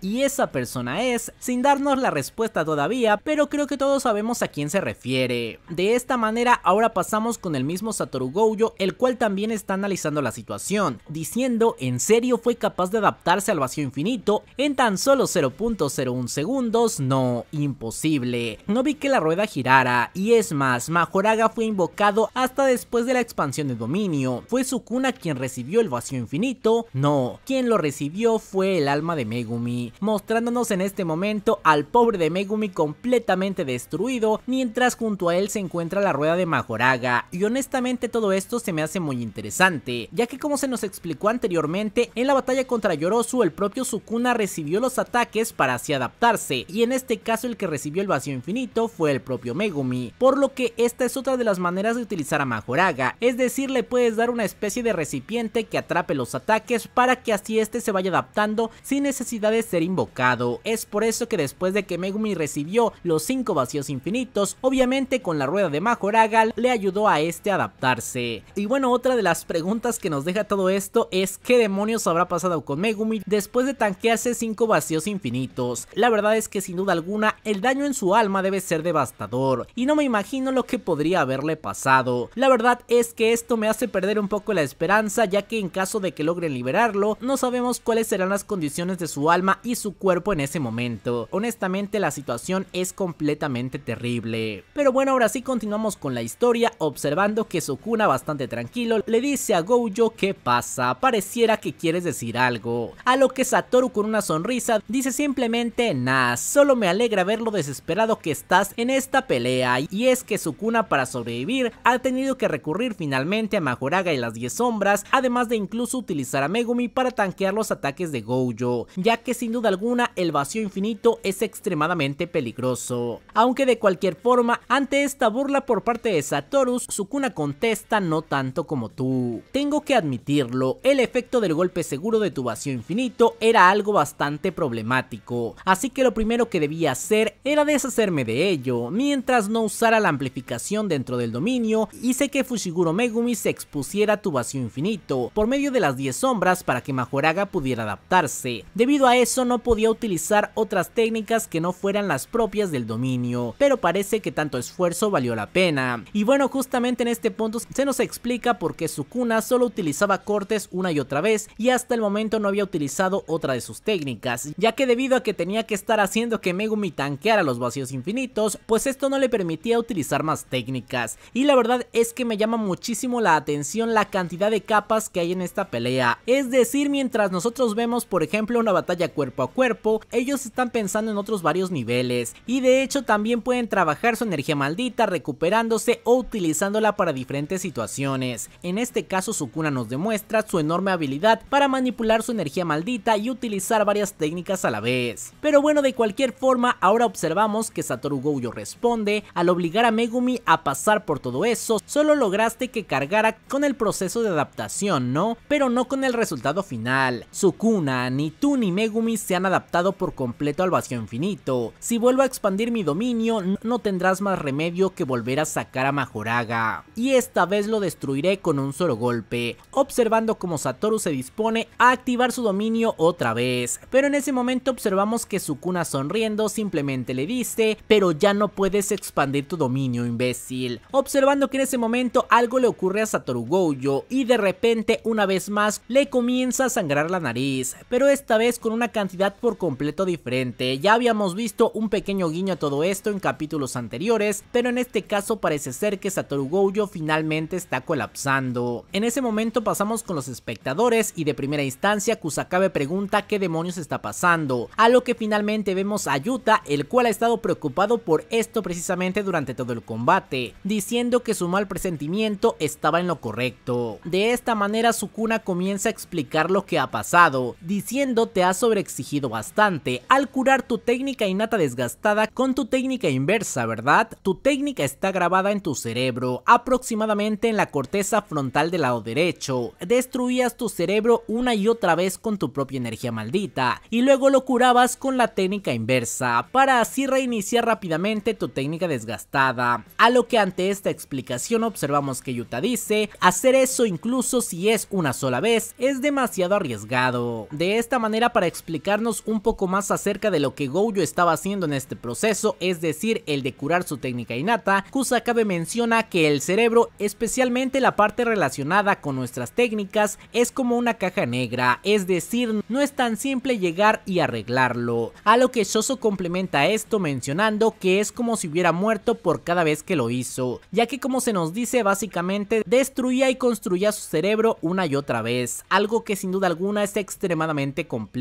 De esta forma Itadori también comienza a contar las veces que lo hizo, diciendo que fueron cuatro veces, y si lo vuelve a hacer ya serían cinco, a lo que también vemos a Shoko, la especialista en la técnica inversa, diciendo, pensé que Gojo estaba acostumbrado a curar su cerebro, pero parece que las secuelas aún estaban ahí, Sukuna lo hizo menos veces que Satoru, por lo que no ha salido tan afectado. De esta manera regresando con Sukuna y Satoru, Sukuna menciona, es muy diferente a curar tu cuerpo o tus huesos, ¿no? Incluso si pudieras expandir tu dominio, estarías muerto para cuando termines. Ya no eres capaz de pensar en algo para competir conmigo. Mientras observamos a un Gojo completamente desgastado y en el suelo. A lo que observamos que ahora Sukuna menciona, esta vez cerraré mi dominio con una barrera y no tendrás escapatoria. Te cortaré y aunque lograras sacar tu dominio de nuevo, terminaré de adaptarme pronto, rematando con una frase que honestamente me dolió mucho, ya que Sukuna teniendo a Gojo prácticamente de rodillas le dice, el más fuerte, solo naciste en una época en la que yo no existía, no eres más que un hombre ordinario y en este momento liberando su expansión de dominio. Sin duda alguna en este punto parecía que todo estaba terminado para Satoru Gojo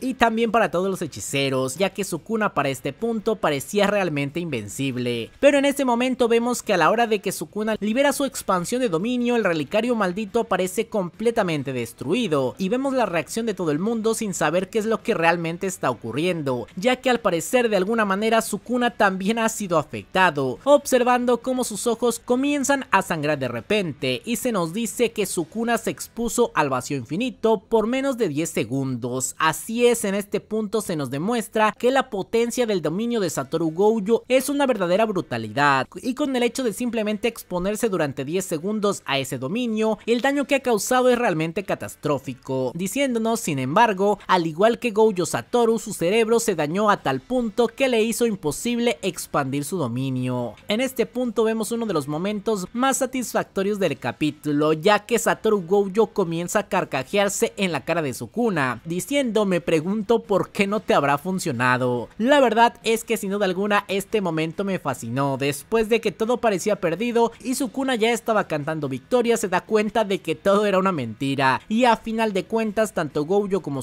Sukuna tienen daño cerebral severo por lo que actualmente ninguno de ellos puede expandir su dominio, algo que sin duda alguna es impresionante. De esta forma Satoru Gojo sonriendo dice mis estudiantes están mirándome así que debo presumir un poco. Y bueno para aquellos que no lo recuerden esta es una de las frases que dice Gojo en el primer capítulo del manga justo cuando enfrentó a Sukuna. La verdad es que sin duda alguna esta referencia me encantó. De hecho cuando menciona a sus alumnos observamos que Itadori, Hakari, Inumaki, Kirara, Panda, Maki y Yuta están sonriendo por las palabras de su maestro. Para ahora sí pasar a la página final del episodio donde observamos que Satoru Gojo utiliza azul para atraer a Sukuna y posteriormente darle un puñetazo directo en el rostro. En este momento se nos muestra la frase de soy la única que entiende la soledad que alguien tan fuerte como tú debe sufrir. Yo seré quien te enseñe lo que es el amor. Y bueno, para los que no lo recuerden, básicamente esta es la frase que Yorosu dijo en su batalla contra Sukuna. Pero al parecer quien realmente le va a mostrar el poder del amor es el mismísimo Satoru Gojo, ya que al parecer por primera vez en su vida ambos se encontraron con un rival que es casi tan poderoso como ellos, aunque si me lo preguntan a mí creo que Satoru Gojo es más fuerte y ya lo ha demostrado con la tremenda humillación que le acaba de hacer a Sukuna. Se nos muestra Kusakabe, el cual realiza la pregunta, ¿alguno de ustedes alguna vez ha sido golpeado seriamente por Gojo?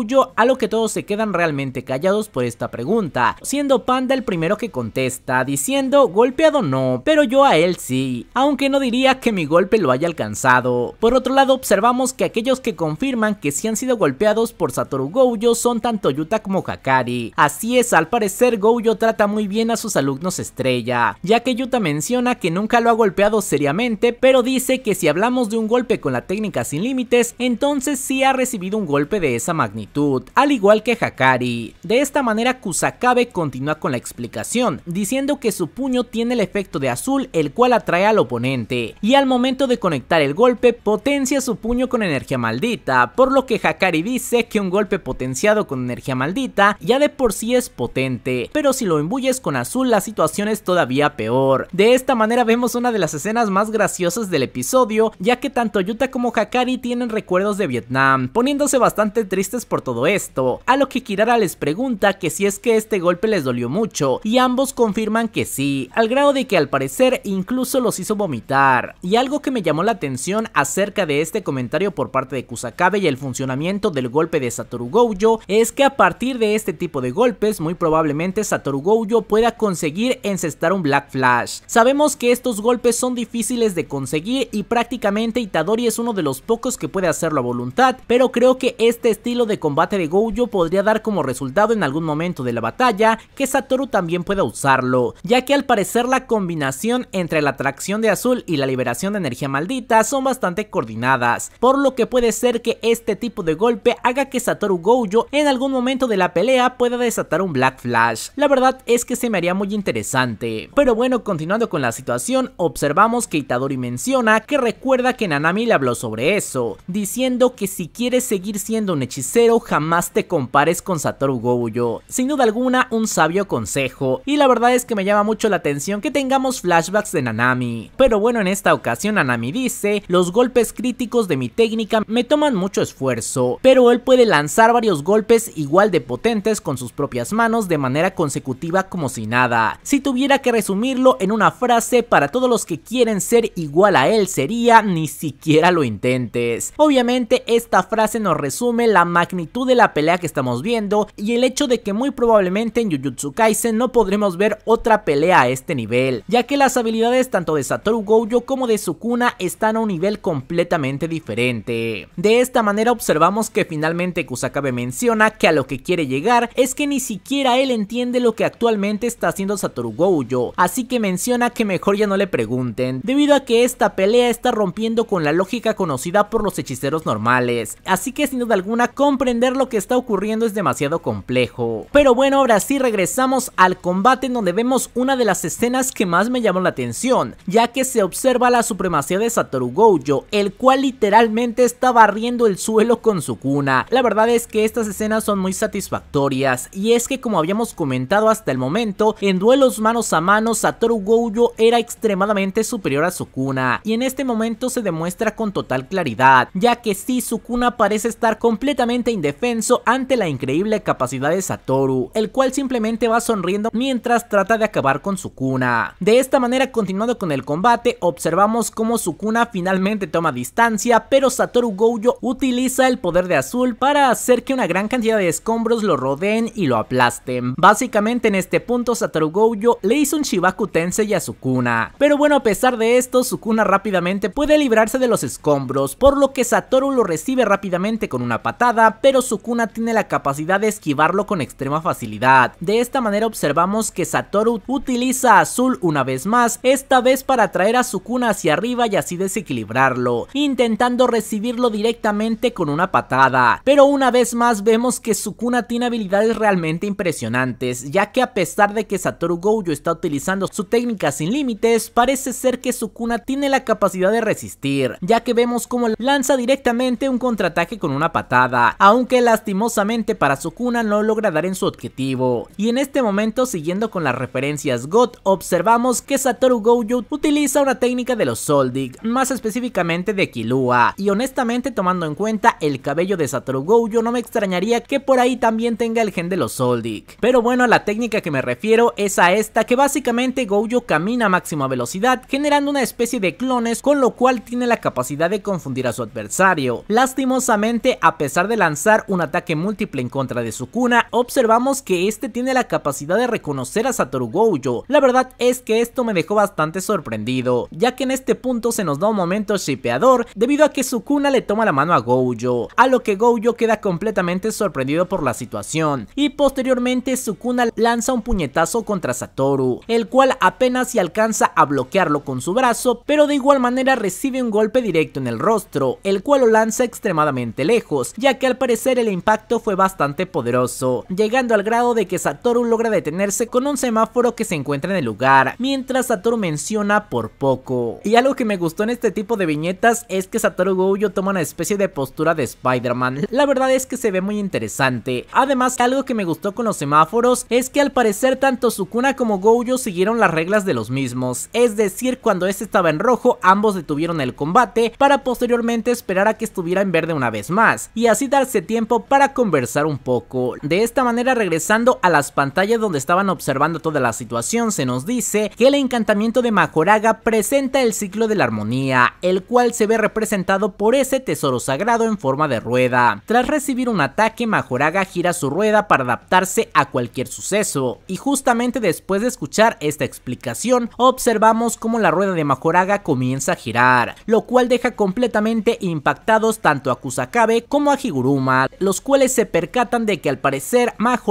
se está adaptando poco a poco. De esta manera se nos muestra el pensamiento de Satoru Gojo, el cual menciona, cuando me toca con la amplificación la rueda de Majoraga se vuelve negra, así que asumo que en ese momento la adaptación se ve interrumpida. Me pregunto si la razón por la que aún puede usar la amplificación pero no la expansión de dominio se deba a que el área de su cerebro que quedó dañada era la parte relacionada con las barreras. La verdad es que esta teoría sería muy interesante por parte de Gojo, ya que básicamente en este punto Sukuna no podría usar ningún tipo de barrera, por lo que si esto es verdad, tal vez Satoru Gojo esté viendo una oportunidad para vencer a Sukuna. Pero bueno, de igual manera observamos que Sukuna también tiene su propio análisis, diciendo que al parecer Satoru Gojo está utilizando solo técnicas sencillas para evitar que Majoraga termine de adaptarse, diciendo que a final de cuentas es obvio que él haría algo como eso. De esta manera justo cuando vemos el cambio del semáforo, una vez más comienza el combate, por lo que ambos se lanzan a intentar golpearse una vez más, aunque Satoru intentando tomar la ventaja, observando en este momento como Satoru Gojo utiliza azul para atraer el semáforo, pero Sukuna tiene la capacidad de atraparlo en el aire para posteriormente contraatacar, aunque al parecer en ese momento detienen una vez más el combate. Y bueno, en este punto regresamos una vez más con los comentaristas, comenzando por Mei Mei, la cual menciona no ha vuelto a sacar a Majoraga, significa que ya terminó de adaptarse al vacío infinito después de la quinta expansión de dominio, a lo que Hakari también menciona, y si para terminar de adaptarse por completo a una técnica tan poderosa como la de Gojo-san requiere girar más de una vez, y Kusakabe continúa diciendo no descartaría esa teoría, para estos dos ya nada es imposible. Básicamente lo que mencionan es por qué a pesar de que supuestamente la rueda había girado, Sukuna no invocó a Majoraga, ya que si estuviera adaptado este sería el momento para liberarlo, pero obviamente en este punto se nos va a explicar la razón de por qué esto no se hizo, ya que ahora regresando al campo de batalla Satoru Gojo menciona si yo ya me di cuenta significa que tú también, ¿no? Se necesitan 4 giros en total, así que necesitas 3 giros más, para que la rueda de Majoraga termine de adaptarse a mi técnica. La verdad es que me gusta esta restricción para Majoraga, y esto quiere decir que entre mayor sea la complejidad o el poder de una técnica, más difícil es adaptarse para Majoraga. En este momento como observamos, al parecer necesita dar 4 vueltas para completar la adaptación. De esta manera el comentario de Satoru sorprende a todos, los cuales se dan cuenta que faltan 3 vueltas más para que todo esté perdido. A lo que Sukuna responde a Satoru diciendo tómalo como una cuenta regresiva, cuando acabe esa sonrisa de tu rostro desaparecerá. A lo que observamos una respuesta espectacular de Satoru, diciendo oh te refieres a esta sonrisa mientras muestra una sonrisa con todos los dientes. La verdad es que este panel es simplemente tremendo y nos demuestra que a pesar de que Satoru se encuentra en una situación extremadamente compleja, él aún no pierde su confianza y sentido del humor y espero que sea capaz de mantenerlo hasta las últimas consecuencias, ya que ahora sí continuando con Satoru, este dice no hay problema, te mataré antes de que la rueda gire tres veces. De esta forma regresando con la transmisión, observamos que Hana se preocupa por el comentario diciendo no creen que se haya olvidado de Megumi o sí, pero Itadori responde la verdad ya no lo sé, mientras que Kashimo también confirma a este punto está bien que lo olvide, mientras se nos deja la frase final del episodio diciéndonos comienza la cuenta regresiva para la vida o muerte, observando que al parecer en este momento la rueda de Majoraga gira una vez más, reaccionando tanto Itadori como Kusakabe, el cual menciona dos giros más y se adaptará a la técnica del infinito de Gojo. Tienes que lograrlo pronto Gojo, ya que básicamente la finalidad de este combate es que Gojo logre acabar a Sukuna antes de que Majoraga logre adaptarse a su técnica, ya que si esto ocurre Gojo estará completamente perdido. De esta manera ahora sí continuamos con el combate observando cómo Gojo trata de atacar con azul al mismísimo Sukuna, creando esferas que destruyen todo a su paso, pero Sukuna con su habilidad es capaz de esquivar todos los ataques directos de Gojo, haciendo gala de su increíble movilidad, hasta que vemos cómo Satoru Gojo crea una gran cantidad de orbes alrededor de Sukuna, con el objetivo de que en esta ocasión no pueda esquivar el ataque, observando cómo estos orbes se acercan hacia Sukuna, destruyendo prácticamente todo lo que tocan, aunque Sukuna una vez más demuestra su habilidad esquivando los múltiples ataques del infinito. De esta manera nos percatamos que al parecer estos ataques simplemente eran una distracción por parte de Satoru, el cual rápidamente trata de tomar el punto ciego de Sukuna para atacarlo por la espalda, pero una vez más Sukuna demuestra su capacidad ya que alcanza a detener el ataque de Satoru, aunque no es lo suficientemente bueno, ya que posteriormente Satoru Gojo lanza una patada en contra de Sukuna, golpeándolo directamente en el abdomen, aunque debido a recibir este ataque directo observamos que la rueda de Majoraga vuelve a girar, dejando en esta ocasión a Hakari y Kirara completamente impactados, diciendo que ahora solo falta un giro, mientras que sorprendentemente Itadori comienza a analizar la situación, preguntándose qué es lo que se necesita para adaptarse, será tiempo o experiencia, a lo que Kusakabe parece comprender la pregunta de Itadori, explicando que habría dos maneras en la que Majoraga puede adaptarse, en primera instancia diciendo, te refieres a si necesita recibir un golpe por cierta cantidad de tiempo para lograr entender la técnica a la que quiere adaptarse, es decir básicamente que reciba el golpe y después de un tiempo logre adaptarse a la técnica, o por otro lado que necesite ser golpeado cierta cantidad de veces para acumular experiencia, en este caso como se menciona simplemente necesitaría ser golpeado varias veces y la adaptación estaría completa, lamentablemente de acuerdo a la información que se ha mostrado en este momento todavía no hay una respuesta clara, ya que Kusakabe menciona que en este momento Satoru solo ha estado usando la técnica azul, así que no está seguro de cuál es la respuesta, además de que hay que recordar que Kusakabe mencionó en el capítulo pasado que ya no le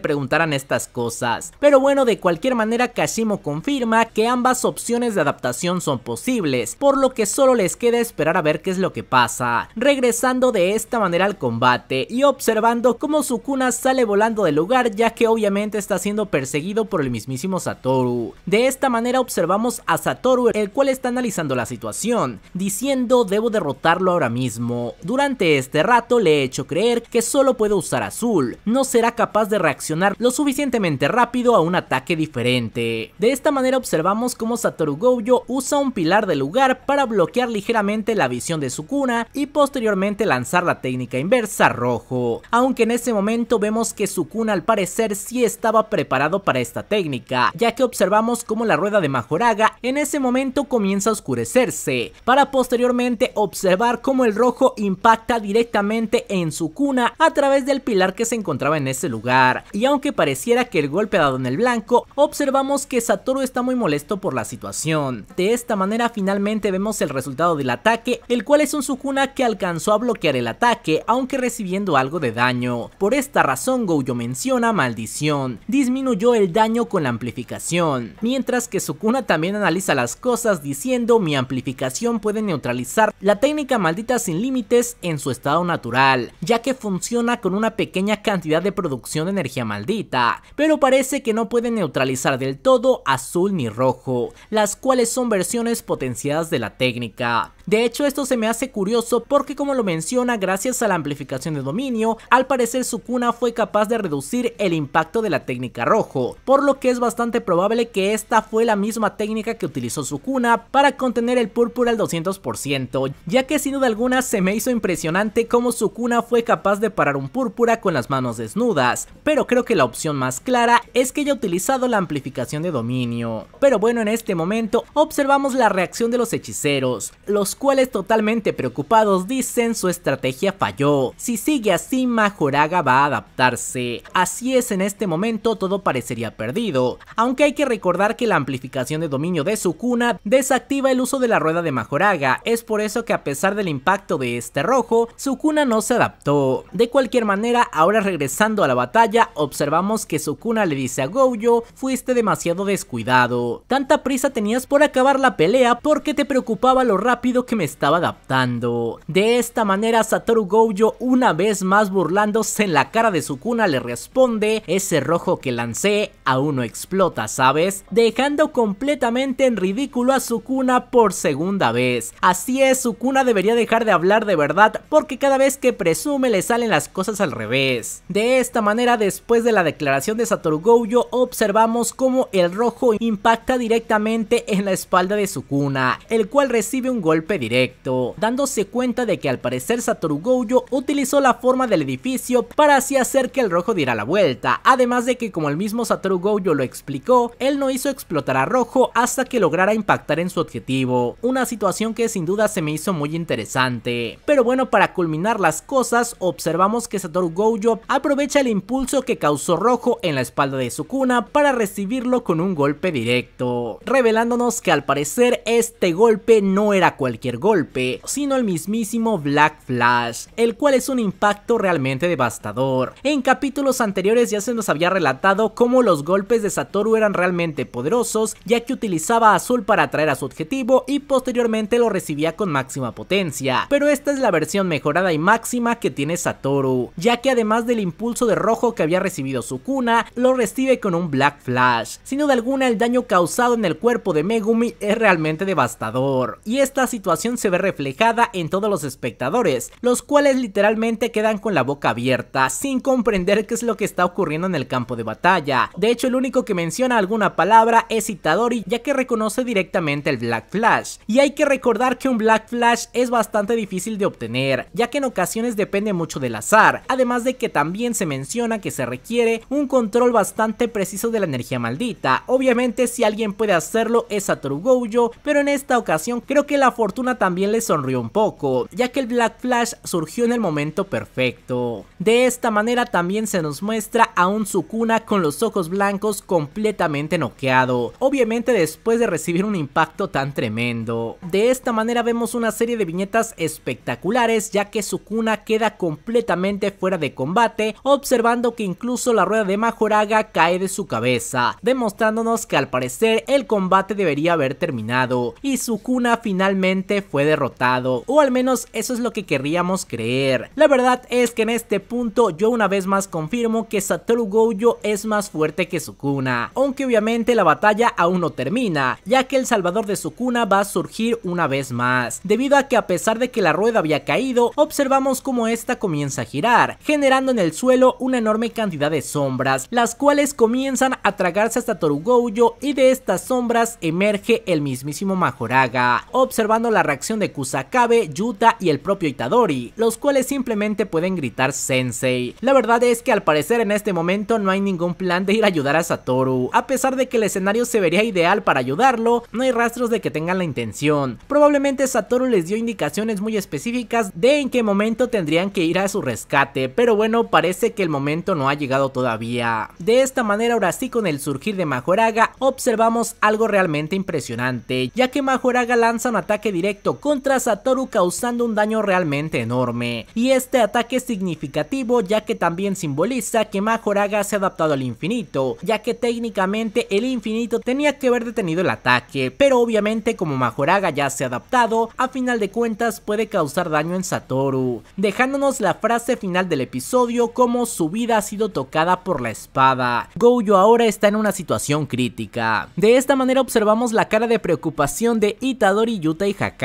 Los cuales saben lo complicado que está todo. Pero bueno, de cualquier manera Itadori dice no hay problema, aunque Majoraga se haya adaptado a su técnica, aún están en igualdad de condiciones, y además Sensei puede sanar sus heridas con rapidez, a lo que lamentablemente Shoko interviene diciendo no, puedo notar que sus heridas están sanando más lento, ha sido capaz de disparar rojo, así que no le es imposible usar la técnica maldita inversa, pero puedo notar cómo su producción de energía maldita se reduce poco a poco, y la verdad es que esto es entendible después del tremendo combate que ha tenido y el brutal desgaste de energía maldita que se ha visto en este combate. De esta manera Shoko continúa diciendo, además, recuerda los daños graves que su cerebro recibió, aunque probablemente Sukuna esté en la misma condición. En este momento vemos un detalle muy interesante, ya que el suelo donde está Shoko está lleno de cigarrillos, describiendo los nervios de Shoko en este momento. Y es que de verdad están viendo un combate colosal, el cual directamente podría decidir el destino del mundo de la hechicería. Pero bueno, después de ver todo esto, ahora entramos con una narración, en donde se nos dice, a pesar de luchar contra el más poderoso de la historia, el rey de las maldiciones, nadie había pensado en lo imposible hasta ahora, en la posibilidad de la derrota de Satoru Gojo, incluso el mismo Gojo lo pensó. De esta manera vemos a Gojo bastante serio por la situación, diciendo me pregunto cuándo fue la última vez. Y como todos sabemos, la última vez que Gojo sintió que estaba al borde de la muerte y que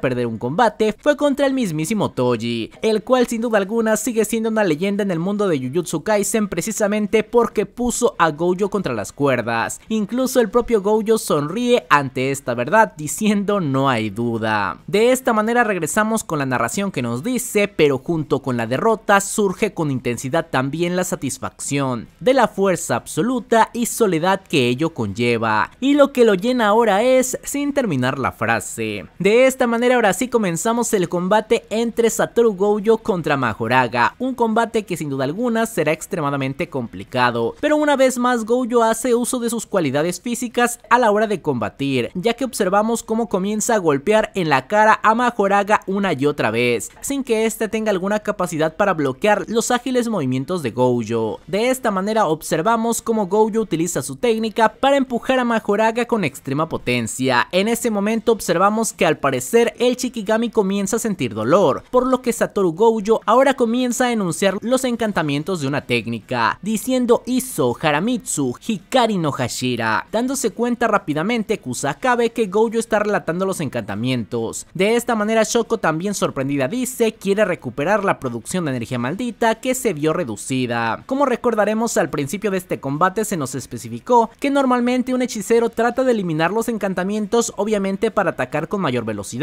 pero el hecho de regresar a mencionar encantamientos una vez más hace que la potencia del ataque generado se multiplique. Es por eso que en este momento Gojo puede aprovechar la oportunidad para relatar los encantamientos y así maximizar su poder, revelando que al parecer su intención es lanzar la técnica de inversión rojo. Lamentablemente antes de que Satoru Gojo logre lanzar este ataque, observamos el despertar de Sukuna, el cual al parecer es capaz de invocar a uno de sus Shikigamis o a un ejército de ellos, ya que si el ejército de conejos ha regresado, saliendo a partir de las sombras de Sukuna. De esta manera antes de que Gojo lance su ataque observamos que dice, tal parece que el Black Flash funcionó, ¿cuánto tiempo más vas a seguir durmiendo? Mientras se burla de Sukuna ya que sabe que al parecer una vez más Sukuna ha recuperado la conciencia. De esta manera obviamente gracias a los conejos Satoru no pudo conectar su ataque y a pesar de que si lanza rojo este simplemente crea mucho caos y destrucción pero sin lograr golpear a su objetivo, observando cómo Sukuna Majoraga y Gojo se alejan del lugar, mientras que Satoru comienza a analizar la situación y la estrategia que utilizará Sukuna a partir de ahora, diciendo que ya habiendo hecho que Majoraga se adapte a su técnica, Sukuna se pone a la ofensiva para protegerlo de ser destruido, y mientras lo defiende, crea una abertura para que Majoraga pueda atacar fácilmente. Es decir, básicamente en este punto, Sukuna está confiando en que Majoraga pueda acabar con Satoru, ya que obviamente su técnica ilimitada es inútil contra Majoraga en este momento, porque él puede golpearlo sin ningún problema, mientras que Sukuna no tiene la necesidad de utilizar la amplificación de dominio como lo había hecho anteriormente, es decir, Sukuna simplemente es la distracción para Satoru. De hecho, precisamente cumpliendo con este rol, ahora observamos cómo Sukuna toma un extintor y hace que este explote para tratar de bloquear la visibilidad de Satoru, aunque lamentablemente gracias a los seis ojos es prácticamente imposible que hagan que Satoru no pueda ver cualquier ataque que venga. De cualquier manera observamos que gracias al extintor, Majoraga se dispone a atacar a Satoru por arriba mientras que ahora Sukuna prepara un ataque, dejando completamente sorprendido a Shoso ya que dice yo conozco esa postura, es sangre perforadora, observando cómo en efecto Sukuna es capaz de lanzar un proyectil en contra de Satoru Gojo, revelándonos que lamentablemente mientras Satoru intentaba bloquear el ataque de Majoraga, es impactado directamente también por el ataque de Sukuna, lo cual lo deja completamente sorprendido, además de que al parecer este ataque también fue capaz de atravesar su infinito, mientras que Satoru se sigue preocupando por esquivar a Majoragas, se percata de que al parecer Sukuna no solo será el apoyo, sino que mientras Majoraga lo esté tocando como vimos anteriormente, su infinito queda anulado, por lo que también Sukuna puede aprovechar esa oportunidad para atacarlo, observando que en este momento Satoru Gojo se encuentra herido de uno de sus brazos. De esta manera Satoru Gojo dice que en esta situación el combate se vuelve en un 2 contra 1, además de que Satoru Gojo dice, oye no uses las habilidades de los Shikigami sin invocarlos, como si fuera lo más normal del mundo, ya que Sukuna logró usar el ataque de agua del elefante máximo, al estilo de la sangre perforadora, odio admitirlo pero es igual de hábil que yo. Y bueno, la verdad es que aquí hay varios puntos interesantes. De primera instancia, el hecho de que Majoraga puede anular completamente la técnica de Gojo mientras lo esté tocando. Esto sin duda alguna será una debilidad bastante importante en el combate. Por otro lado, el hecho de que Sukuna puede usar cada una de las habilidades de sus Shikigamis me parece simplemente sorprendente. Sin duda alguna, la técnica de las 10 sombras tiene un potencial inigualable. Si es que el usuario llega a dominar completamente a los 10 Shikigamis, podría adaptar cada una de esas cualidades a su propio ser, por lo que sin duda alguna el usuario de la técnica podría convertirse en alguien realmente fuerte. La verdad es que Sukuna nos está mostrando el máximo potencial de esta técnica, cosa que Megumi nunca fue capaz. De esta manera regresando con el capítulo observamos el análisis de Gojo, el cual dice que no debería serle posible usar el relicario y las 10 sombras al mismo tiempo, a menos que las use de forma externa, como añadirlas a un dominio, diciendo que se pregunta si la razón por la que ahora ha empezado a usar otros Shikigamis, además de de Majoraga es porque ahora que se adaptó a su infinito tiene más recursos libres, diciendo que en ese caso le llevará más tiempo adaptarse a rojo, en comparación de lo que se demoró con azul, para decir supongo que luchar contra los Chikigamis es mejor a que Majoraga me reduzca las cartas que puedo usar. De esta manera mientras Gojo se encontraba analizando todo esto, observamos que Sukuna dice no lo malinterpretes, no somos dos contra uno, diciendo ahora Nue y Kon, mientras que después me menciona Bestia Quimera Agito. Al parecer Sukuna nos muestra una cualidad más que viene a partir de la técnica de 10 y es que puede combinar Shikigamis. En este caso como se nos menciona está combinando a Nue y Kon, los cuales directamente serían el ave y el lobo, por lo que sin duda alguna una vez más Sukuna demuestra el increíble potencial de esta técnica. De esta manera surge la pregunta si es que Sukuna podría ser algo así como la quimera máxima, es decir, combinar a los 10 Shikigamis en una sola criatura. Sin duda alguna creo que esto es posible, aunque probablemente en este punto debido al daño que ha recibido Sukuna, no sea posible para él realizar tantas invocaciones, ya que hay que recordar que los Shikigamis también dependen de la energía maldita del usuario, y sin duda alguna en este momento por los daños cerebrales que tiene Sukuna, dudo mucho que pueda usar su máximo potencial, y pienso que al igual que Satoru Gojo, su producción de energía maldita debe estar fallando. De cualquier manera, una vez que este nuevo Shikigami ha emergido, Ahora Sukuna dice, somos 3 contra 1, en una escena que es simplemente brutal, ya que si Sukuna nos confirma la enorme superioridad en combate que tiene Satoru Gojo sobre él, ya que Sukuna requiere de dos compañeros más para poder enfrentar a Satoru. De hecho un meme que estuve leyendo mucho y la verdad es que me dio risa es que en un momento Maki menciona que las maldiciones débiles atacan en grupo, que es básicamente lo que va a hacer Sukuna en este momento. La verdad es que no quiero ser tan fan de Gojo, pero honestamente lo soy no soy muy imparcial. De cualquier manera, incluso el propio Gojo se burla un poco, diciendo pareces un pequeño alien perdido. Y bueno, esta frase es un tanto extraña, ya que había muchísimas burlas, pero sabemos que Gojo es un tanto más específico, y en este caso la explicación de la burla del alien es en referencia a una fotografía, la cual es una foto de unos alemanes con una supuesta captura alienígena, esta fue tomada en 1950, la cual después de un tiempo se descubrió que solo fue hecha para el Día de los Inocentes. Pero bueno, básicamente en esta fotografía podemos ver a un alien diminuto acompañado de dos hombres, y es básicamente la referencia que Satoru está haciendo. Sin duda alguna Satoru es un hombre de cultura, pero bueno, ahora sí, una vez dejado en claro el 3 contra 1, comienza el combate, observando cómo Majoraga, Sukuna y el nuevo Shikigami Quimera se enfrentan directamente a Satoru, mientras que este demuestra su gran superioridad física al intentar esquivar los golpes de todos ellos. Algo que hay que recordar es que si Majoraga toca a Satoru, este pierde su protección de infinito, una debilidad bastante grande. De esta manera observamos cómo Sukuna utiliza las sombras para intentar atacar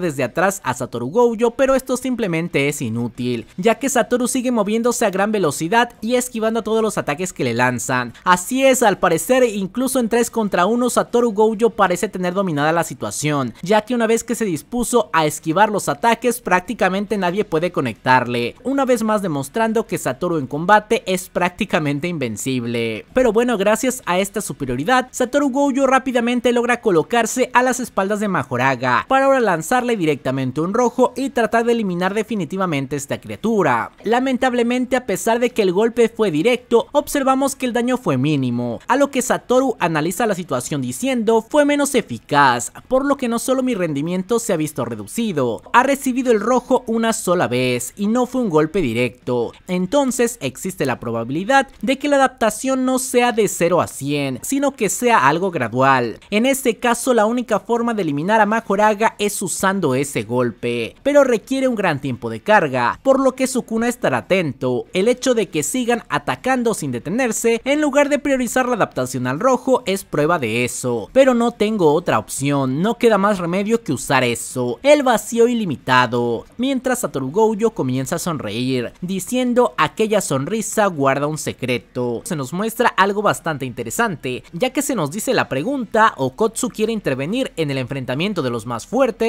a lo que ahora sí vemos al mismísimo Yuta, el cual como se nos dice, planea ir a la batalla, diciendo es hora de que vaya, a lo que rápidamente Kashimo al escuchar esto le dice tú no irás a ninguna parte, no te atrevas a interferir, mostrando su cara de molestia, diciendo no oíste, dije que tú no eres el siguiente. De esta manera vemos una especie de choque de energía maldita entre Kashimo y Yuta. Obviamente de primera instancia Kashimo dice que no tiene que intervenir y si es que alguien va a intervenir, obviamente no es él, ya que Kashimo ha venido pidiendo ese lugar desde hace mucho tiempo. Pero bueno, ante este conflicto observamos que Hakari interviene diciendo no te apresures Okotsu, Kashimo tiene razón, Gojo-san nos dio la indicación de intervenir solo si llegaba al punto de ser más débil que nosotros. Y bueno, y bueno, básicamente aquí está la explicación de por qué hasta este momento ninguno ha intervenido, ya que Gojo dejó esta petición explícita, es decir, no intervenir hasta que él fuera más débil que ellos, y por lo que Gojo ha seguido demostrando incluso en estas condiciones, obviamente todavía es difícil decidir si realmente Gojo es más débil que ellos, además de que en múltiples ocasiones se nos ha dejado en claro que Gojo puede liberar su máximo potencial cuando se encuentra solo, por lo que tiene sentido que haya hecho esta petición a sus alumnos. De cualquier manera ante esto observamos cómo Yuta responde depende de cada caso, ahora mismo Sukuna no puede usar su dominio, Rika-chan y yo podemos encargarnos de esos dos Shikigamis, sin duda les seremos de ayuda. La verdad es que se me hace curioso que Yuta directamente elija a los dos Shikigamis como rivales,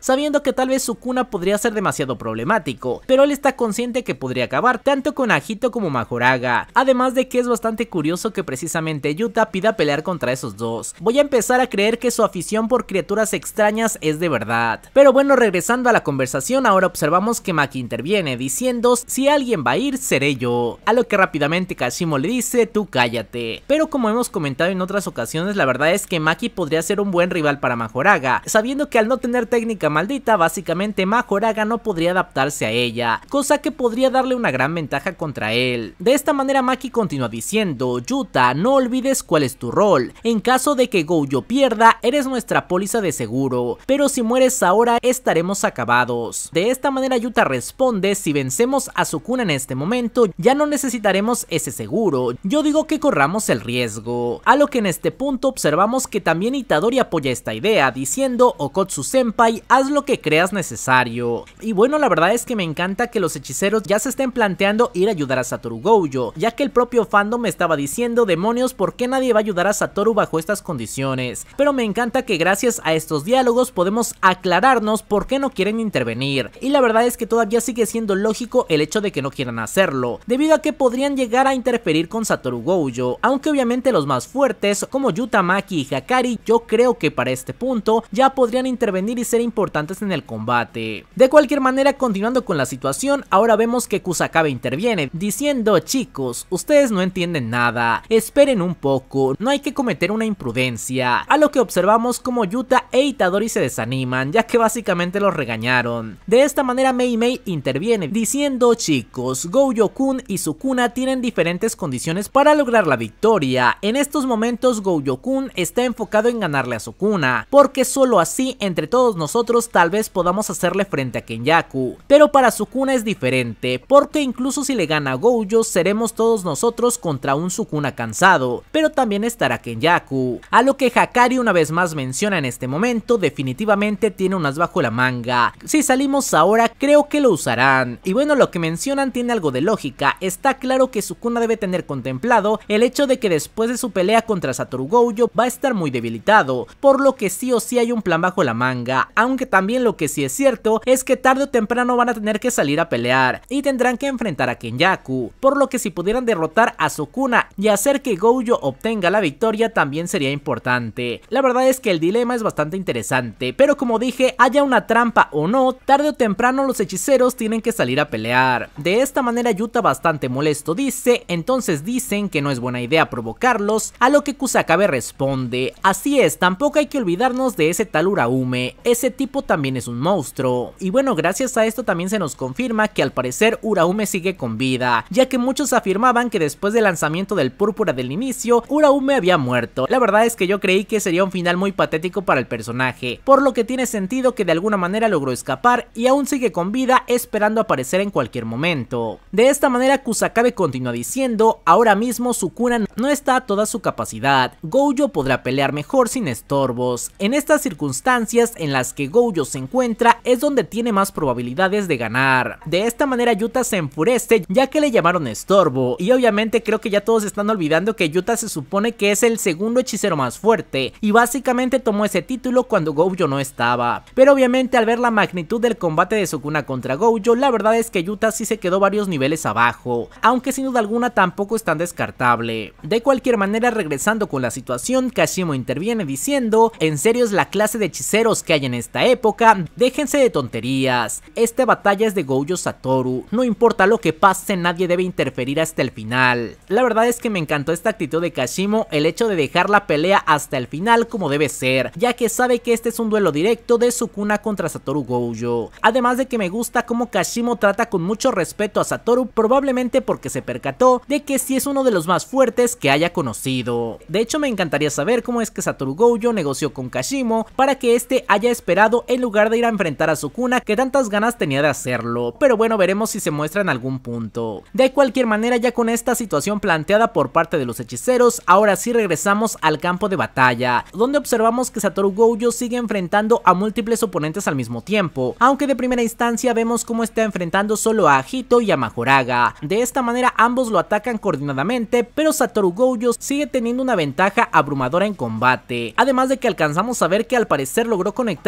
otro destello negro. Parece ser que Satoru Gojo empieza a dominar esta técnica, ya sé que muchos podrán decir que es aleatorio, pero si alguien puede dominarlo también es Satoru Gojo. Y bueno, como mencioné, Satoru Gojo logró conectar a Hito, el cual a final de cuentas, a pesar de recibir mucho daño, sigue en el combate, pero Satoru Gojo le sujeta la cola, arrancándosela en una escena completamente brutal. Pero bueno, mientras la batalla se sigue desarrollando, observamos que Satoru comienza con su análisis, al percatarse de que Agito está regenerando su cola muy rápidamente. De esta forma, Satoru dice, no heredó el poder de Orochi, Kozou y Madoka. A diferencia de la habilidad de adaptación de Majoraga, la capacidad curativa de Madoka no representa un problema para mi técnica sin límites, pero aún así, al igual que Majoraga, debo destruirlo de un solo golpe. Pero bueno, antes de continuar hay que aclarar algo muy importante en todo esto, ya que básicamente en este punto Satoru nos confirma cómo está fusionado a Hito, ya que básicamente la base de esta quimera Shikigami es Nue, el cual es el ave que vimos en múltiples ocasiones, diciendo que esta heredó los poderes de Orochi que sería la serpiente y Madoka que sería el venado, agregando un nuevo Shikigami que hasta el momento no conocíamos, el cual es Kozou, y podríamos llamarlo el décimo Shikigami. De acuerdo a la traducción, este Shikigami hace referencia a un tigre, pero como dije hasta el momento su habilidad es desconocida, y honestamente esto me preocupa porque el hecho de no conocer cuál es la habilidad de Kozou podría complicar las cosas más adelante, y vamos a ver si este décimo Shikigami tiene alguna relevancia después. De cualquier manera, ahora sí continuamos con el combate, observamos cómo Majoraga ataca con múltiples proyectiles a Satoru Gojo, pero esto es completamente inútil, ya que gracias a su infinito las rocas simplemente no lo pueden golpear, además de que a pesar de que Majoraga intenta conectar los golpes en contra de Satoru, es simplemente inútil, ya que Satoru Gojo parece tener una ventaja en combate realmente abrumadora, ya que es capaz de conectar un golpe contra Majoraga, a pesar de que este sigue intentando cortarlo. De cualquier manera, en este momento vemos una de las escenas más épicas del episodio, ya que Satoru toma la pose de todos ustedes contra mí solo, representando que poco a poco empieza a entrar en confianza en este conflicto. De esta manera, conforme la batalla continúa, Satoru Gojo dice, ya está comenzando a mostrar un patrón de ataque, es decir, a pesar de tener múltiples oponentes, poco a poco Satoru Gojo se va adaptando a los movimientos de ellos, por lo que muy pronto podrá conectar el golpe definitivo. De hecho, creo que lo más resaltante de este combate ha sido lo increíblemente poderoso que es en combate físico Satoru Gojo, cosa que no sería tan esperada, por lo que sin duda alguna su derrota con Toji le sirvió muchísimo. Al percatarse de que esta podría ser una de sus debilidades, decidió trabajarla y mejorarla durante este tiempo. Por eso en este momento tenemos a un Satoru con habilidades físicas realmente sorprendentes. Pero bueno, regresando con el análisis de Satoru Gojo, este mencionas, sería una molestia si se la pasa curando a Sukuna, así que a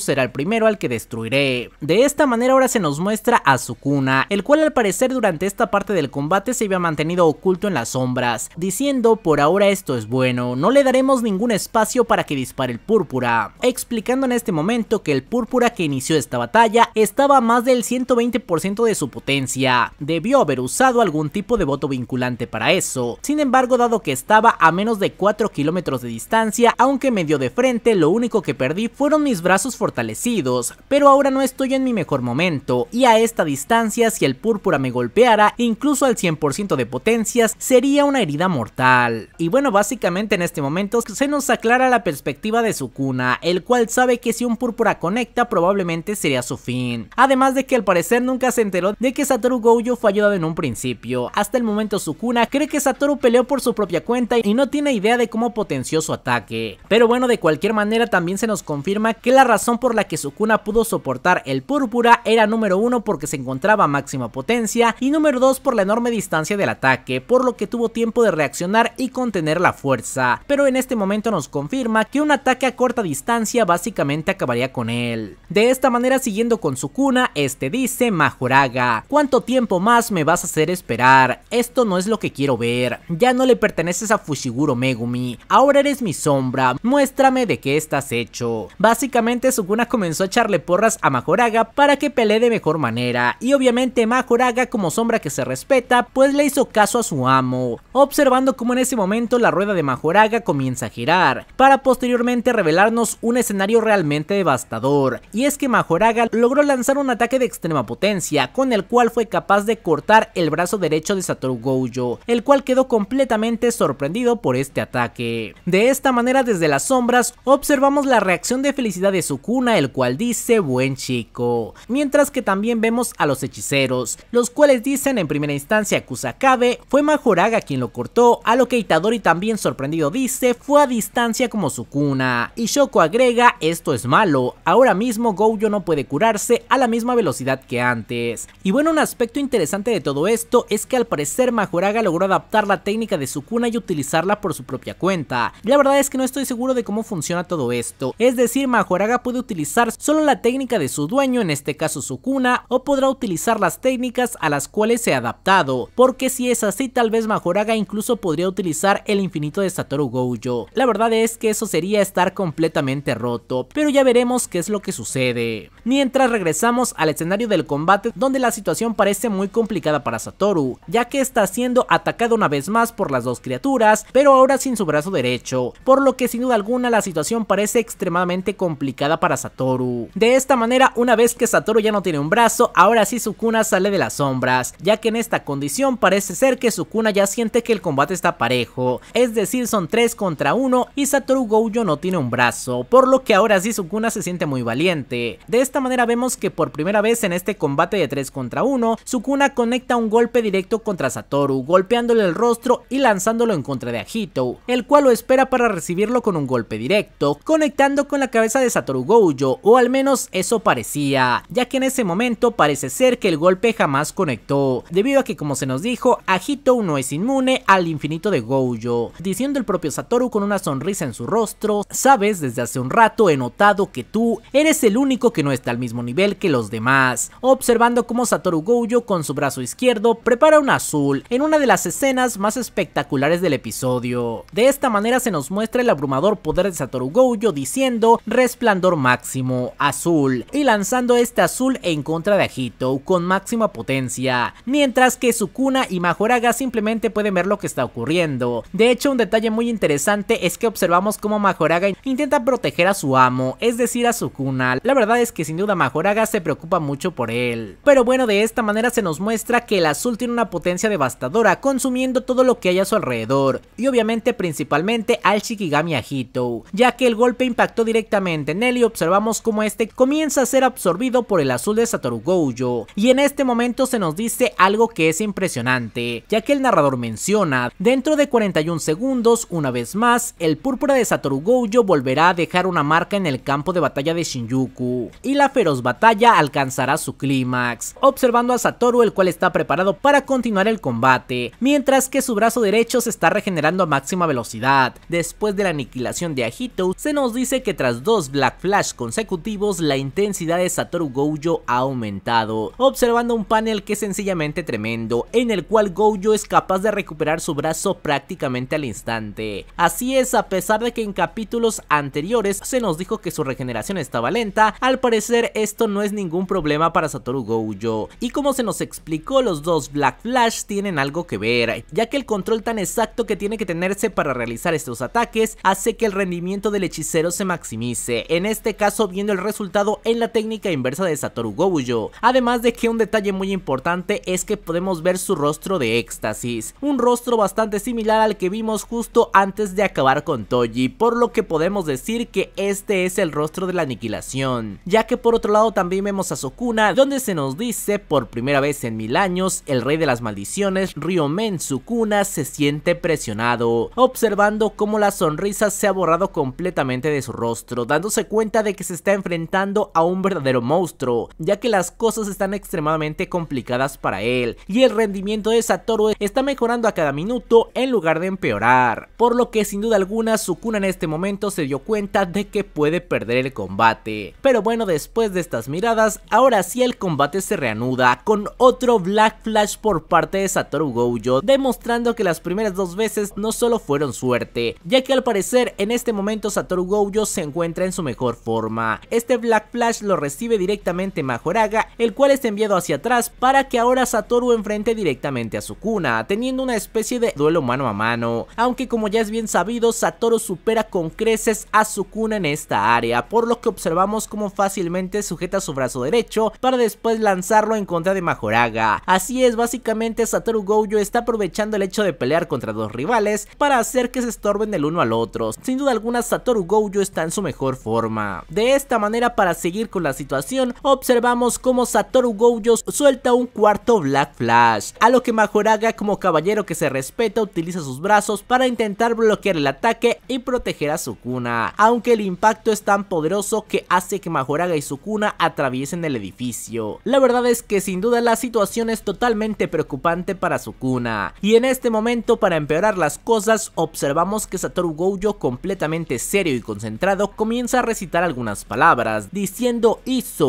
Haramitsu, Hikari no Hashira. En este momento se nos da una explicación acerca de las técnicas malditas, diciendo que la señal de la energía maldita es la energía maldita que fluye hacia afuera del hechicero justo antes de activar una técnica. Del mismo modo en el que el efecto seguro se activa justo antes del despliegue de un dominio, siempre hay una señal antes de la activación de una técnica importante, y esto no es una excepción para Satoru Gojo, quien tiene un gran rendimiento de energía maldita, más aún cuando involucra su vacío púrpura. Debido a la escala del encantamiento y a la cantidad de energía maldita involucrada, Sukuna juzgó que la señal que tenía delante de él era la de la técnica de inversión rojo, y tomó una decisión mediante ese juicio, un juicio equivocado observando que ante esto Sukuna decide hacer que Majoraga reciba este rojo y de esta manera adaptarse finalmente a rojo. De esta manera vemos que en efecto la señal que se mencionó tenía razón, ya que Satoru Gojo activa su técnica de inversión rojo, pero sorprendiendo a Sukuna y a Majoraga lanza este ataque hacia arriba, lo cual deja completamente sorprendido a Sukuna, el cual al parecer se da cuenta de lo que está planeando pero ya demasiado tarde, por lo que Sukuna desesperadamente comienza a gritar Majoraga. De esta manera observamos cómo la técnica de inversión rojo comienza a destruir parte del edificio, ya que va dirigiéndose hacia arriba muy rápidamente, mientras que Majoraga siguiendo las instrucciones de su dueño simplemente intenta seguir el ataque. En este punto se nos da una explicación, diciendo que el vacío púrpura se crea generando un choque entre las técnicas de rotación e inversión, es decir, azul y rojo, lo que termina en una expulsión de una masa imaginaria. De esta manera observando como Majoraga finalmente sale del edificio, y en este punto se nos dice que frente al rojo que había lanzado Satoru Gojo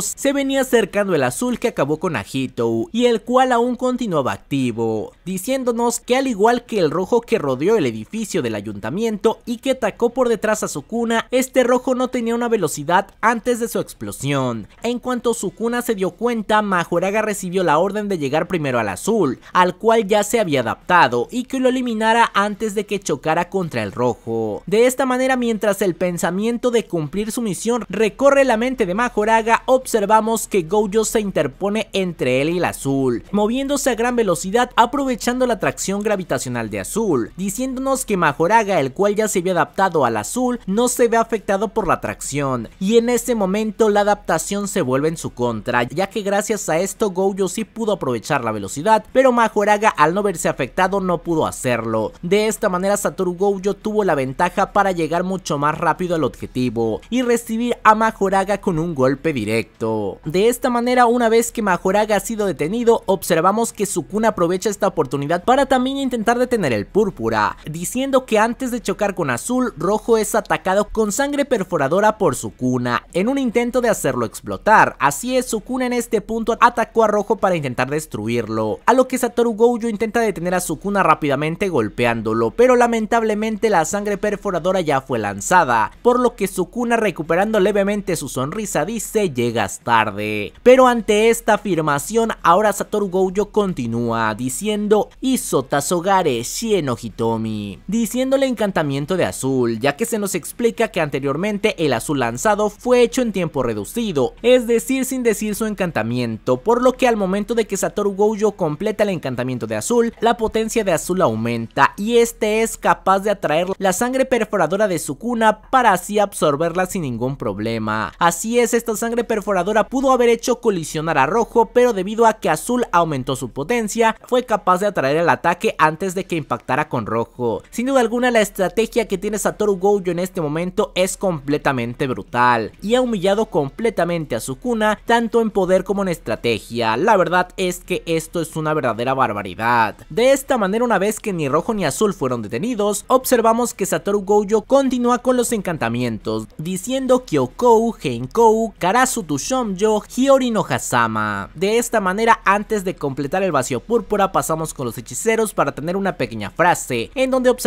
que Yuta interviene diciendo Kusakabe sensei, le pido disculpas, si yo hubiera entrado en la batalla no hubiera hecho más que estorbar, ya que básicamente Yuta habría quedado atrapado en la explosión de púrpura o por su culpa Satoru Gojo no habría podido lanzarlo. Pero bueno, la verdad es que yo también estuve a favor de que Yuta llegara a ayudar, la verdad es que subestimé a Satoru Gojo y es que la verdad en este momento entró en su estado más roto, por lo que es directamente imparable. De esta manera tras escuchar las palabras de Yuta, ahora sí Satoru Gojo dice vacío púrpura. Una vez que azul y rojo se han combinado, observamos cómo empieza a surgir una enorme explosión, mientras se nos muestra un rostro de satisfacción de Satoru Gojo y el rostro de la perdición de Majoraga y Sukuna. De esta manera observando cómo finalmente el vacío púrpura hace explosión, destruyendo todo lo que se encuentra a su alrededor, observando principalmente la escena en donde la rueda de Majoraga es completamente destruida, ya que como recordaremos Majoraga aún no se adaptaba púrpura, por lo que este golpe de extrema potencia con un ataque al que no se ha adaptado lo destruyó por completo. Y básicamente todo el esfuerzo de toda la batalla por parte de Sukuna fue completamente aniquilado con este ataque. De esta esta manera vemos el resultado del púrpura, el cual es completamente devastador ya que se llevó media ciudad en el camino y finalmente observamos que Sukuna al parecer contra todo pronóstico sigue con vida, aunque completamente destruido, ya sin un brazo y una pierna destrozada. En este momento tras el escenario de Sukuna observamos que Satoru Gojo comienza a hablar, diciendo lancé un púrpura ilimitado sin restricciones, ni una dirección en específico, haciendo que me golpeara a mí también, pero el daño que recibí fue bastante diferente al tuyo. Supongo que el hecho de que se tratara de mi propia energía maldita redujo mi daño, y así llegamos a este resultado. Para tratarse de una improvisación no estuvo mal, ¿no crees? Es la primera vez que me hago explotar a mí mismo, mientras observamos que Satoru Gojo también se encuentra herido, además de que por primera vez en toda la pelea su camisa se ha rasgado, así es la camisa más poderosa en el universo de Jujutsu Kaisen. La verdad es que no estoy seguro de qué estará hecha, pero sin duda alguna es una completa bestialidad. De cualquier manera, continuando con la situación, ahora vemos a Kusakabe, el cual sonriendo dice, Gojo recuperó el rendimiento de la técnica inversa gracias al Black Flash. ¿Quién se pone a probar por primera vez una técnica como esa en un momento así? Diciendo ahora, por otro lado, Sukuna recibió un gran daño, su sanación está desgastada y es más lenta, y sin Majoraga se verá incapaz de mantener una pelea mano a mano. A lo que Itadori completamente impactado dice, eso significa que, y Kusakabe responde, sí, Gojo ha ganado, dejándonos la frase final del episodio mientras Gojo se recupera, que dice, el resultado de la batalla entre los más fuertes ha quedado grabado en Shinjuku, y bueno, de esta manera pareciera que el combate finalmente ha terminado, ya que justamente se nos da Satoru Gojo como el ganador, obviamente sabemos que esto puede dar un giro a final de cuentas, pero a mi parecer es probable que la batalla entre los dos sí terminó en este capítulo, y para los próximos ahora sí ya vayamos a ver intervenciones de otros personajes como sería Kenyaku o Uraume. Pero bueno, claramente no podemos olvidar que Sukuna todavía tiene el arma que le dio Yorosu, aunque no estoy seguro que un arma en este momento le sirva para enfrentar a Satoru debido a su extrema debilidad física, aunque obviamente si esa arma tiene algunas cualidades importantes probablemente logre sorprender a Satoru. Aunque la pregunta más importante de todas es Megumi tiene salvación todavía, ya que hay que recordar que el cuerpo destrozado que estamos viendo realmente es de Megumi, pero supongo que Satoru podría tener alguna forma de liberarlo, y creo que en este momento donde Sukuna está indefenso es la mejor manera de hacerlo, pero como dije muy probablemente para el próximo capítulo el duelo de uno versus uno se rompa y ya veamos entradas de otros personajes, y las cosas se pongan mucho más intensas, honestamente no creo que todo termine bien para Satoru Gojo, yo creo que todo se va a complicar para el próximo capítulo, aún así este es momento de celebrar, ya que Satoru Gojo ha ganado la batalla de los más fuertes, y obviamente como dije las cosas pueden cambiar, pero mientras tanto Satoru demostró que es una verdadera bestia, ya que él había afirmado que podía derrotar a Sukuna en estado original, pero este Sukuna sin duda alguna era mucho más fuerte gracias a la técnica de las 10 sombras, y aún así Satoru Gojo logró obtener la victoria, lo que marcó una clara diferencia entre ambos. Así es cuando Sukuna afirmó que si Satoru Gojo hubiera nacido en su misma época, sin duda alguna Satoru Gojo habría acabado con él. Pero bueno, ahora sí de esta manera terminamos el capítulo, la verdad es que para los fans de Gojo esto fue un completo deleite, aunque hay que estar conscientes que probablemente en próximos capítulos vayan a pasar cosas malas, y también no hay que olvidarnos que Itadori es nuestro prota, por lo que tiene que hacer algo al, al final de esta historia, ya veremos qué es lo que sucede. Pero bueno, tendremos una semana de descanso bien merecida por parte de Jeje para poder ver la continuación de estos episodios, y ahora sí de esta manera hemos terminado el video, me encantaría que me dejen su opinión y teorías en los comentarios, y antes de despedirme quiero agradecer a todos los miembros del canal que siempre nos están apoyando. Y muchas gracias a Lalo MFGM, de Loco Steve, Orlandos, Soca Skinny, Jesús Roberto Carlos, Junito Forcal, Alcojo Gamers, Caboyat24, Emanuel Castro, Luis Rodríguez, Alex Gamer, Irving Sánchez, Alex Pilo, Ryan505, Rodrigo García, Fanny Morales y Jonathan B. Y ahora sí, sin nada más por añadir, adiós.